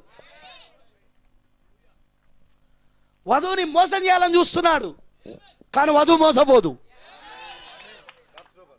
వధువు మోసపోదు మోసపోయేది వధువు కాదు. వధువు మోసపోదు మోసపోయేది వధువు కాదు అసలు. ఆమెకు అసలైన స్వరం ఉన్నది అదే ఏడవ దూత స్వరము. ఒరిజినల్ వాయిస్ క్యాసెట్లలో రికార్డ్ అయి ఉన్నది అది. అవి ఎంపిత్రులో రికార్డ్ అయి ఉన్నది అది. పుస్తకాల రూపంలో ప్రింట్ అయి ఉన్నది అది. ఆమెను మోసం చేయడం ఎవరి వల్ల కాదు? ప్రేమైన దోని పిల్లలారా మనం ఎంత ధన్యులమంటే ప్రపంచంలో ఇప్పటివరకు ఆరు వేల సంవత్సరాల కాలం అంతా మన దినము కొరకు ఎదురు చూస్తున్నది. ఇప్పటి వరకు మన దినము కొరకు ప్రపంచంలో ఇప్పటి వరకు జరిగిన కాలాలన్నీ ఎదురు చూస్తానాయి చివరికి యోహాను కూడా మన దినం కోసం ఎదురు చూశాడు. మీరు అనొచ్చు యోహాను మన దినం కోసం ఎందుకు చూశాడు పాస్టర్ గారు? యోహానికి వాటిని కేవలము సూచనలో గుర్తులలో మాత్రమే చూపించబడింది. కానీ ఆ గుర్తులకు అర్థం యోహానికి తెలియదు. ఒక స్త్రీ నీటిలో నుండి బయటకు వచ్చిందన్నాడు. ఆమె మహావేష అయి ఉన్నదన్నాడు. యోహాను వెళ్ళి అడిగినామనుకో ఎవరా వేష అంటే నా తెలియదు నేను చూశాను రాశాను. నేను చూసింది విన్నది రాయమని చెప్పబడింది రాశాను. కానీ ఏడవ దూత పలుకు దినాలలో దేవుని మర్మమంతా సమాప్తం కావాలి గనక? ఆ మహావేష ఎవరో మనకు అర్థమైపోతున్నది. ఆమె వస్తున్న నీళ్ళు నీళ్ళేమిటో మనకు అర్థమవుతున్నది. ఆమె ఆ విస్తార జలముల పైన ఎందుకు కూర్చున్నదో మనకు అర్థమవుతున్నది. ఆమె చేతుల బంగారు పాత్ర ఎందుకుందో మనకు అర్థమవుతున్నది. ఆమెనంటారా? హళలుయా భూరాజులందరూ దాని మత్తులో ఎందుకు మత్తులై ఉన్నారో దాని మధ్యమును త్రాగి మత్తులో ఎందుకు ఉన్నారో మనకు అర్థమవుతున్నది. ఎవ్రీథింగ్ వి అండర్స్టాండ్ నావు ఎందుకు? ఏడవ దూత వచ్చి మనకి మర్మం అంతా యోహానుకో మన దినానికి వచ్చి గుర్తుల రూపంలో మాత్రమే చూపించాడు. గుర్తుల రూపంలో మాత్రమే రాశాడు. కానీ ఇప్పుడున్న వధువుకి యోహాన్ ఎవరైతే సాదృశ్యంగా ఉన్నాడో యోహాన్ ఎవరికైతే ఛాయగా నీడగా ఉన్నాడో ఆ నిజ రూపమైన వధువుకి అదే దూత అదే ఏడవ దూత వచ్చి ఇప్పుడు దాని మర్మం అంతా విప్పి ఇప్పుడు నిజ రూపాన్ని చూపిస్తా ఉన్నాడు. ఇప్పుడు చెప్పండి మీకు వర్తమా ఇప్పుడు మీరు సబ్జెక్టులు బోధించడానికి మీకు వర్తమానము దొరకలేదా? బోలెడున్నాయి. కూర్చొని దాన్ని చదివితే చాలా విషయాలు వస్తాయి. ఆ టీ కొట్టు దగ్గర కూర్చొని ముచ్చలు పెట్టుకుని టీలు తాగేది కాదు ఇది. నేను చాలా ప్రాంతాలలో చూశాను. సారీ నేను తెనాలి మాత్రమే మాట్లాడతాను నేను ఇప్పుడు ఆంధ్రప్రదేశ్లో చెప్తున్నా నేను. సేవకులకు ఇప్పుడు టీ కొట్టు ఒక గ్యాదరింగ్ అయిపోయింది. ఎంత వేసే సేవకులు. ఒకసారి నేను ఫోన్ చేశాను. పాస్టర్ గారు మీరు ఎక్కడున్నారు? టీ కొడు దగ్గర. మళ్ళీ ఒకసారి ఫోన్ చేశాను. ఎక్కడ టీ కొడు దగ్గర. ఎవరెవరు ఉన్నారో అని చెప్పిన. అంటే మొత్తం ఆ పట్టణంలో సేవకులందరూ అక్కడే ఉన్నారు. ఏం చేస్తున్నారు అన్న? ఎప్పటి నుండి ఉన్నారు పొద్దు నుండి ఇక్కడే ఉన్నాం ఓ దేవా. ఏంటి వీళ్ళ అపహాసకులు కూర్చున్న చోట కూర్చుండక ఉన్న దివారాత్రులు యహోవా ధర్మశాస్త్రాన్ని ధ్యానించి ఆనందించు ధ్యానించమన్నది. వీళ్ళు అభాసకులు కూర్చునే కూర్చున్నారు వీళ్ళు.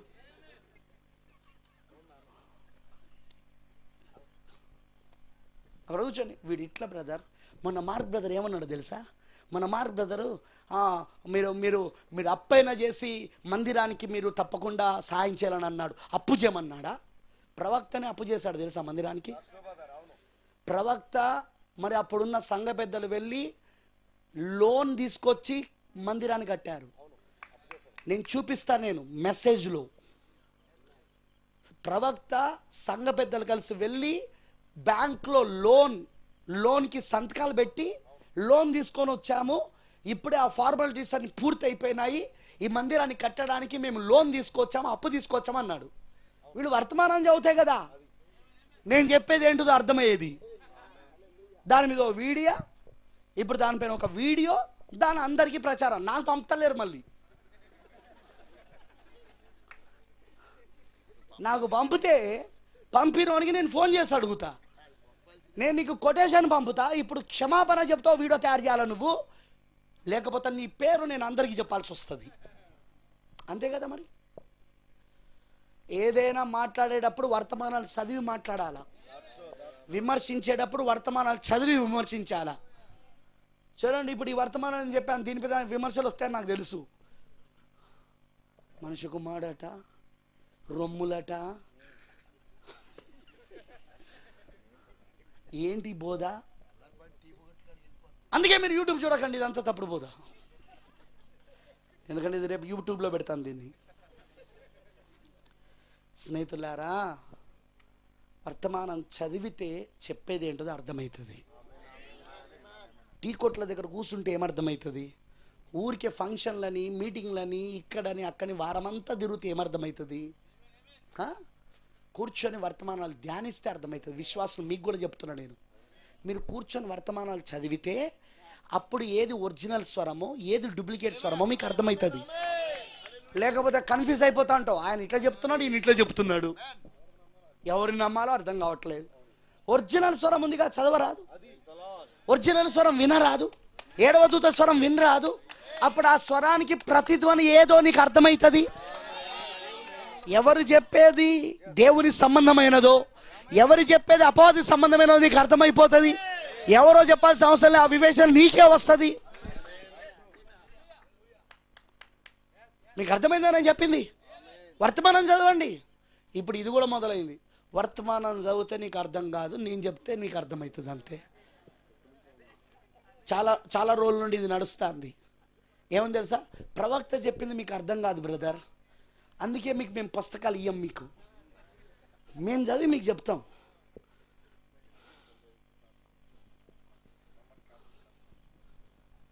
కరెక్ట్ చెప్పావు బ్రదర్. రోమన్ క్యాథలిక్ ఆత్మ అదే. వాళ్ళు బైబిల్ని ఇవ్వకుండా అదే చేస్తారు వాళ్ళు. బైబిల్ చదివితే మీకు అర్థం కాదని ప్రజల దగ్గర నుండి బైబిల్ తీసేసుకున్నారు వాళ్ళు. ఇప్పుడు కూడా అదే ఆత్మ అదే అదే రోమన్ క్యాథలిక్ ఆత్మ అదే బబులోన ఆత్మ అదే మహావేశ ఆత్మ.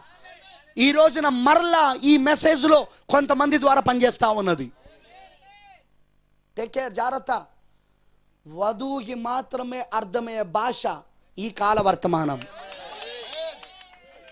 ఈ కాల వర్తమానం ఏడవ దూత స్వరము వధువుకి మాత్రమే అర్థమవుతుంది. ఇంకెవడికి అర్థం కాదు అది ఎందుకంటే అది పక్షిరాజు భాష. పక్షిరాజుకి అర్థమవుతుంది అది. పక్షిరాజు భాష కాకులకు అర్థం కాదు. పక్షిరాజు భాష కోడి పిల్లలకు అర్థం కాదు. కానీ పక్షిరాజు భాష పక్షిరాజులకు అర్థమవుతుంది. ఇది వధువు యొక్క భాష ఇది. ఇది పెళ్ళి కుమారుడు మాట్లాడాడు పెళ్ళి కుమార్తెకే అర్థమవుతుంది. ఇది సాంగ్స్ ఆఫ్ సొలమోన్. ఇది పరమగీతం ఇది. ఈ మెసేజ్ ఏంటో తెలుసా? పరమగీతము. శూలమతికి మాత్రమే అర్థమవుతుంది. నల్లని దారమైన ఆమెకే అర్థమవుతుంది అది. నల్లని దారానుడితో ముఖం మార్చుకోదామే కానీ దాంట్లో ఉన్న ప్రియమైన అర్థం ఏంటో ఆమెకు తెలుసు. నా ప్రియుడు నన్ను నల్లని దానా అని ఎందుకన్నాడో తెలుసు. ఎందుకని ఆమెను పౌరముతో కూడా పోలుస్తా ఉన్నాడు. పౌరం నల్లగా ఉండదు తెల్లగా ఉంటుంది మళ్ళీ. ఎందుకంటే ఆమె మనసు తెలుపది. ఆమె రూపము నలుపు కావచ్చు. కానీ ఆమె మనసు మాత్రం పౌరం లాంటి తెలుపది. చేదు లేని మనసు కలిగినది ఆమె. ఈ భాష అందరికి అర్థం కాదు. నల్లందా నానుడితో కొంతమందిని చూసినావు నా గురించి రేపడ్డది అంటే నల్లగా ఉన్నందుకు దాని అర్థం ఆ నల్ల కాదు. అట్లయితే అమెరికాలో ఒక్కడు కూడా పరలోకపోడు అంతే. దాని అర్థం అది కాదు. దాని అర్థము దాని యొక్క అర్థము దాని అంతరర్థము నీకు అర్థం కావాలంటే ఆ భాష అర్థం కావాలా? తెలుగు భాషనేగా నేను మాట్లాడే ఆ భాష కాదు. తెలుగు భాషనే కానీ ఆ భాష కాదు. అది వాయిస్లో వాయిస్ అది. స్వరములో స్వరం అది. అర్థమవుతుందా అది వారికి మాత్రమే అర్థమైంది ఎందుకంటే బైబిల్ ఒక లవ్ లెటర్ అన్నాడు ప్రవక్త. బైబిల్ ఒక లవ్ లెటర్. అదొక ప్రేమలేఖ ప్రేమలేఖ పిరుడు రాసినప్పుడు అది ఎవరికి అర్థమవుతుంది అది ప్రియురాలికి మాత్రమే అర్థమవుతుంది అది. ఆ భాష ఆమెకు మాత్రమే అర్థమవుతుంది రాసింది తెలుగులోనే అచ్చమైన తెలుగులోనే. కానీ దాని భావం అర్థం కాదు. దాని కాన్సెప్ట్ అర్థం కాదు. దాని భావం దాని విషయము అర్థం కాదు. దాని విషయం అర్థం కావాలంటే నువ్వు ప్రియురాలువై ఉండాలా? నువ్వు ప్రియురాలువై ఉంటే ప్రియుడి భాష నీకు అర్థమవుతుంది. ప్రియుడి భావం నీకు అర్థమవుతుంది అక్కడ. ప్రేమైన దోని పిల్లలారా నేను ఈరోజు చెప్పిన ఈ మెసేజ్ ఏం కొత్తది కాదు. ప్రవక్త చెప్పింది. అది ఆయన వర్తమానంలో నుండి నేను తీసి చూపిస్తున్నా మీకు. స్నేహితులారా నిజంగా మనం ఎంత ధన్యులమంటే పొద్దున్న నేను చెప్పినట్టుగా జగత్ పునాది వేబడక మునిపే లోక పునాదులు వేబడక మునిపే ప్రభు గనుక నేను పిలిచి ఈ కాలాలన్నిటినీ చూపించి నువ్వు ఏ కాలంలో పుట్టాలని ఆశిస్తున్నావు అని అడిగితే ఏ కాలాన్ని కోరుకుంటావు? ఏడవ స- కాలాన్ని వర్తమానం అర్థమైతే మాత్రం నువ్వు ఏ కాలాన్ని కోరుతావో తెలుసా? ఏడవ సంకాలాన్ని ఎందుకంటే దీనంతా దీనంత దీవించబడిన కాలము దీనంత సువర్ణ యుగము బంగారపు కాలము సువర్ణ యుగం ఇది. ఈ కాలం ఏ కాలము కాదు ప్రవక్తలందరూ ఈ దినమున జీవించాలనుకున్నారు. ప్రవక్తలందరూ నీతిమంతులందరూ ఈ దినమును చూడగోరారు వాళ్ళు. ఈ దినములో ఉండాలనుకున్నారు వాళ్ళు. కానీ మనం ఎంత ధన్యులమండి చూచిచ్చిన మన కనులు ధన్యమై ఉన్నవి. వినుచిన మన చెవులు ధన్యమై ఉన్నవి. మనం ఎంత ధనులమై ఉన్నామంటే ఈ భూమిపైన అందరికంటే దీవించబడిన వాళ్ళం మనమే.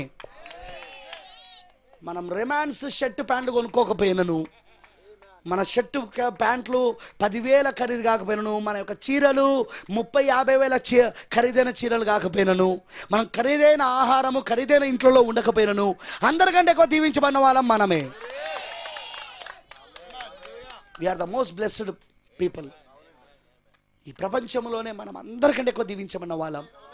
అందుకే మనం ఎప్పుడు ఈ వర్తమానం బట్టి దేవుడికి మహిమ చెల్లించాలి. ఇంకా ఎక్కువగా దీనిలో ఎదగడాలి. దీంట్లో ఇంకా ఎక్కువగా మనము మనము ఇంకా దేవుణ్ణి అడగాలి మనము. థ్యాంక్ యూ జీసస్ అని ప్రభుకి ఎప్పుడు చెప్తూ ఉండాలి మనం. ఈ వర్తమానం బట్టి థ్యాంక్ యూ జీసస్ ఈ వర్తమానం బట్టి వందనాలు వేసయ్యా ఈ వర్తమానం బట్టి స్తోత్రాలు వేసయ్యా ఇది చాలు ప్రభు నా జీవితానికి. ఇది చాలు ప్రభు నా హృదయానికి. ఇది చాలు ప్రభు ఇక నాకేం అక్కర్లేదు ఇక. అని నువ్వు ఎల్లప్పుడూ దేవుడికి కృతజ్ఞతలు తెలియజేయాలా నువ్వు? ఎల్లప్పుడూ నువ్వు దేవుడికి కృతజ్ఞతలు తెలియజేయాలి ఇప్పుడు? అంత గొప్ప కృపను దేవుడు మనకి ఇచ్చాడు ఈ రోజున. ఏడవ దూత స్వరము ద్వారా. అమేన్ యోహాను ప్రకటన గ్రంథమును సూచనలుగాను గుర్తులుగాను చూసి రాశాడు మన దినానికి వచ్చి మన కాలపు ప్రవక్త సూచిస్తూ ఉంటే. ఇప్పుడు యోహాన్ ఎవరికైతే సాదృశ్యంగా ఉన్నాడో ఆ వధువు ఇప్పుడు మన కాలంలో మన కాలంలో నా వధువు ఇప్పుడు అదే దూత చేత అదే ఏడవ దూత చేత ఏవైతే యోహానికి సూచనలు గాను గుర్తులు గాను చూపించబడ్డాయో వాటి యొక్క అర్థమంతా మర్మమంతా విప్పి ఇప్పుడు మనకు బోధిస్తూ ఉన్నాడు. ఇది తీర్పు దినమని మీకు తెలుసా? ఆయన మళ్ళీ బంగారు దట్టి కట్టుకొని వచ్చాడని మీకు తెలుసా? ఇప్పుడు బంగారు దట్టి శరీరానికి ఉన్నది శిరస్సుకు లేదు. వాళ్ళ ఏడుగురు దూతలై ఉన్నారు. ఆమెనంటారా? ప్రేమైన ధోని పిల్లలారా నిజంగా మనం చాలా ధన్యులమై ఉన్నాము. మరి ఇంకా ఈ వర్తమానాన్ని ధ్యానించండి. ప్రవక్త వర్తమానాన్ని బాగా వినండి బాగా చదవండి. అర్థం కాదని ఎప్పుడు అనుకోకండి. అది మనసులో నుండి తీసేయండి. నాకు అర్థమవుతుంది నేను ఆయన ప్రియురాల్ని. ఇది నా ప్రియుని యొక్క లేఖ. నాకు అర్థమవుతుంది నన్ను దేవుడు అలా ఏర్పరచుకున్నాడు. మిమ్మల్ని దేవుడు ఏర్పరచుకున్నాడని నమ్ముతున్నారా? మీకు ఆ ప్రత్యక్షత ఉందా మీకు? దేవుడు మిమ్మల్ని ఏర్పరచుకున్నాడనే బయలుపాటు మీకు ఉందా అయితే మీరు ఆయన ప్రియురాలై ఉన్నారు ఇక ఖచ్చితంగా మీకు అర్థమవుతుంది అది. మీరు చదవండి వినండి మీకు అర్థమవుతుంది. మరి ప్రవక్త అన్నాడు మీరు ఎంతగా చదవాలంటే ప్రతి వచనములో క్రీస్తు కనబడినంతగా. ప్రతి వచనములో క్రీస్తు కనబడాలన్నాడు. అందుకే ఆ ప్రతి వచనంలో క్రీస్తు కనబడే దాకా చదవండి. చదివిన దాన్నే చదవండి. చదువుతూనే ఉండండి. మీకు చాలా విషయాలు పరిశుద్ధాత్మ బయలుపరుస్తాడు. అవునంటారా దేవునికి మహిమ కలును గాక. అర్థమైందా అందరికీ? సో గాడ్ బ్లెస్ యూ దేవుడి మీద దీవించును గాక. మనము చిన్న ప్రార్థన చేసుకొని ముగించుకుందాం. జస్ట్ స్మాల్ ప్రేయర్ ప్రతి ఒక్కరు కూడా దయచేసి లేచి నిలబడినట్లయితే ప్రార్థన చేసుకుందాం.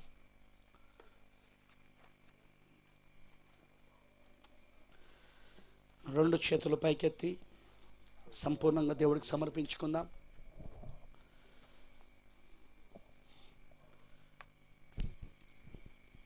ప్రభువైన దేవా మమ్మల్ని మిక్కిలుగా ప్రేమించుచున్న మా ప్రియ పరలోకపు తండ్రి నీకు వందనాలు.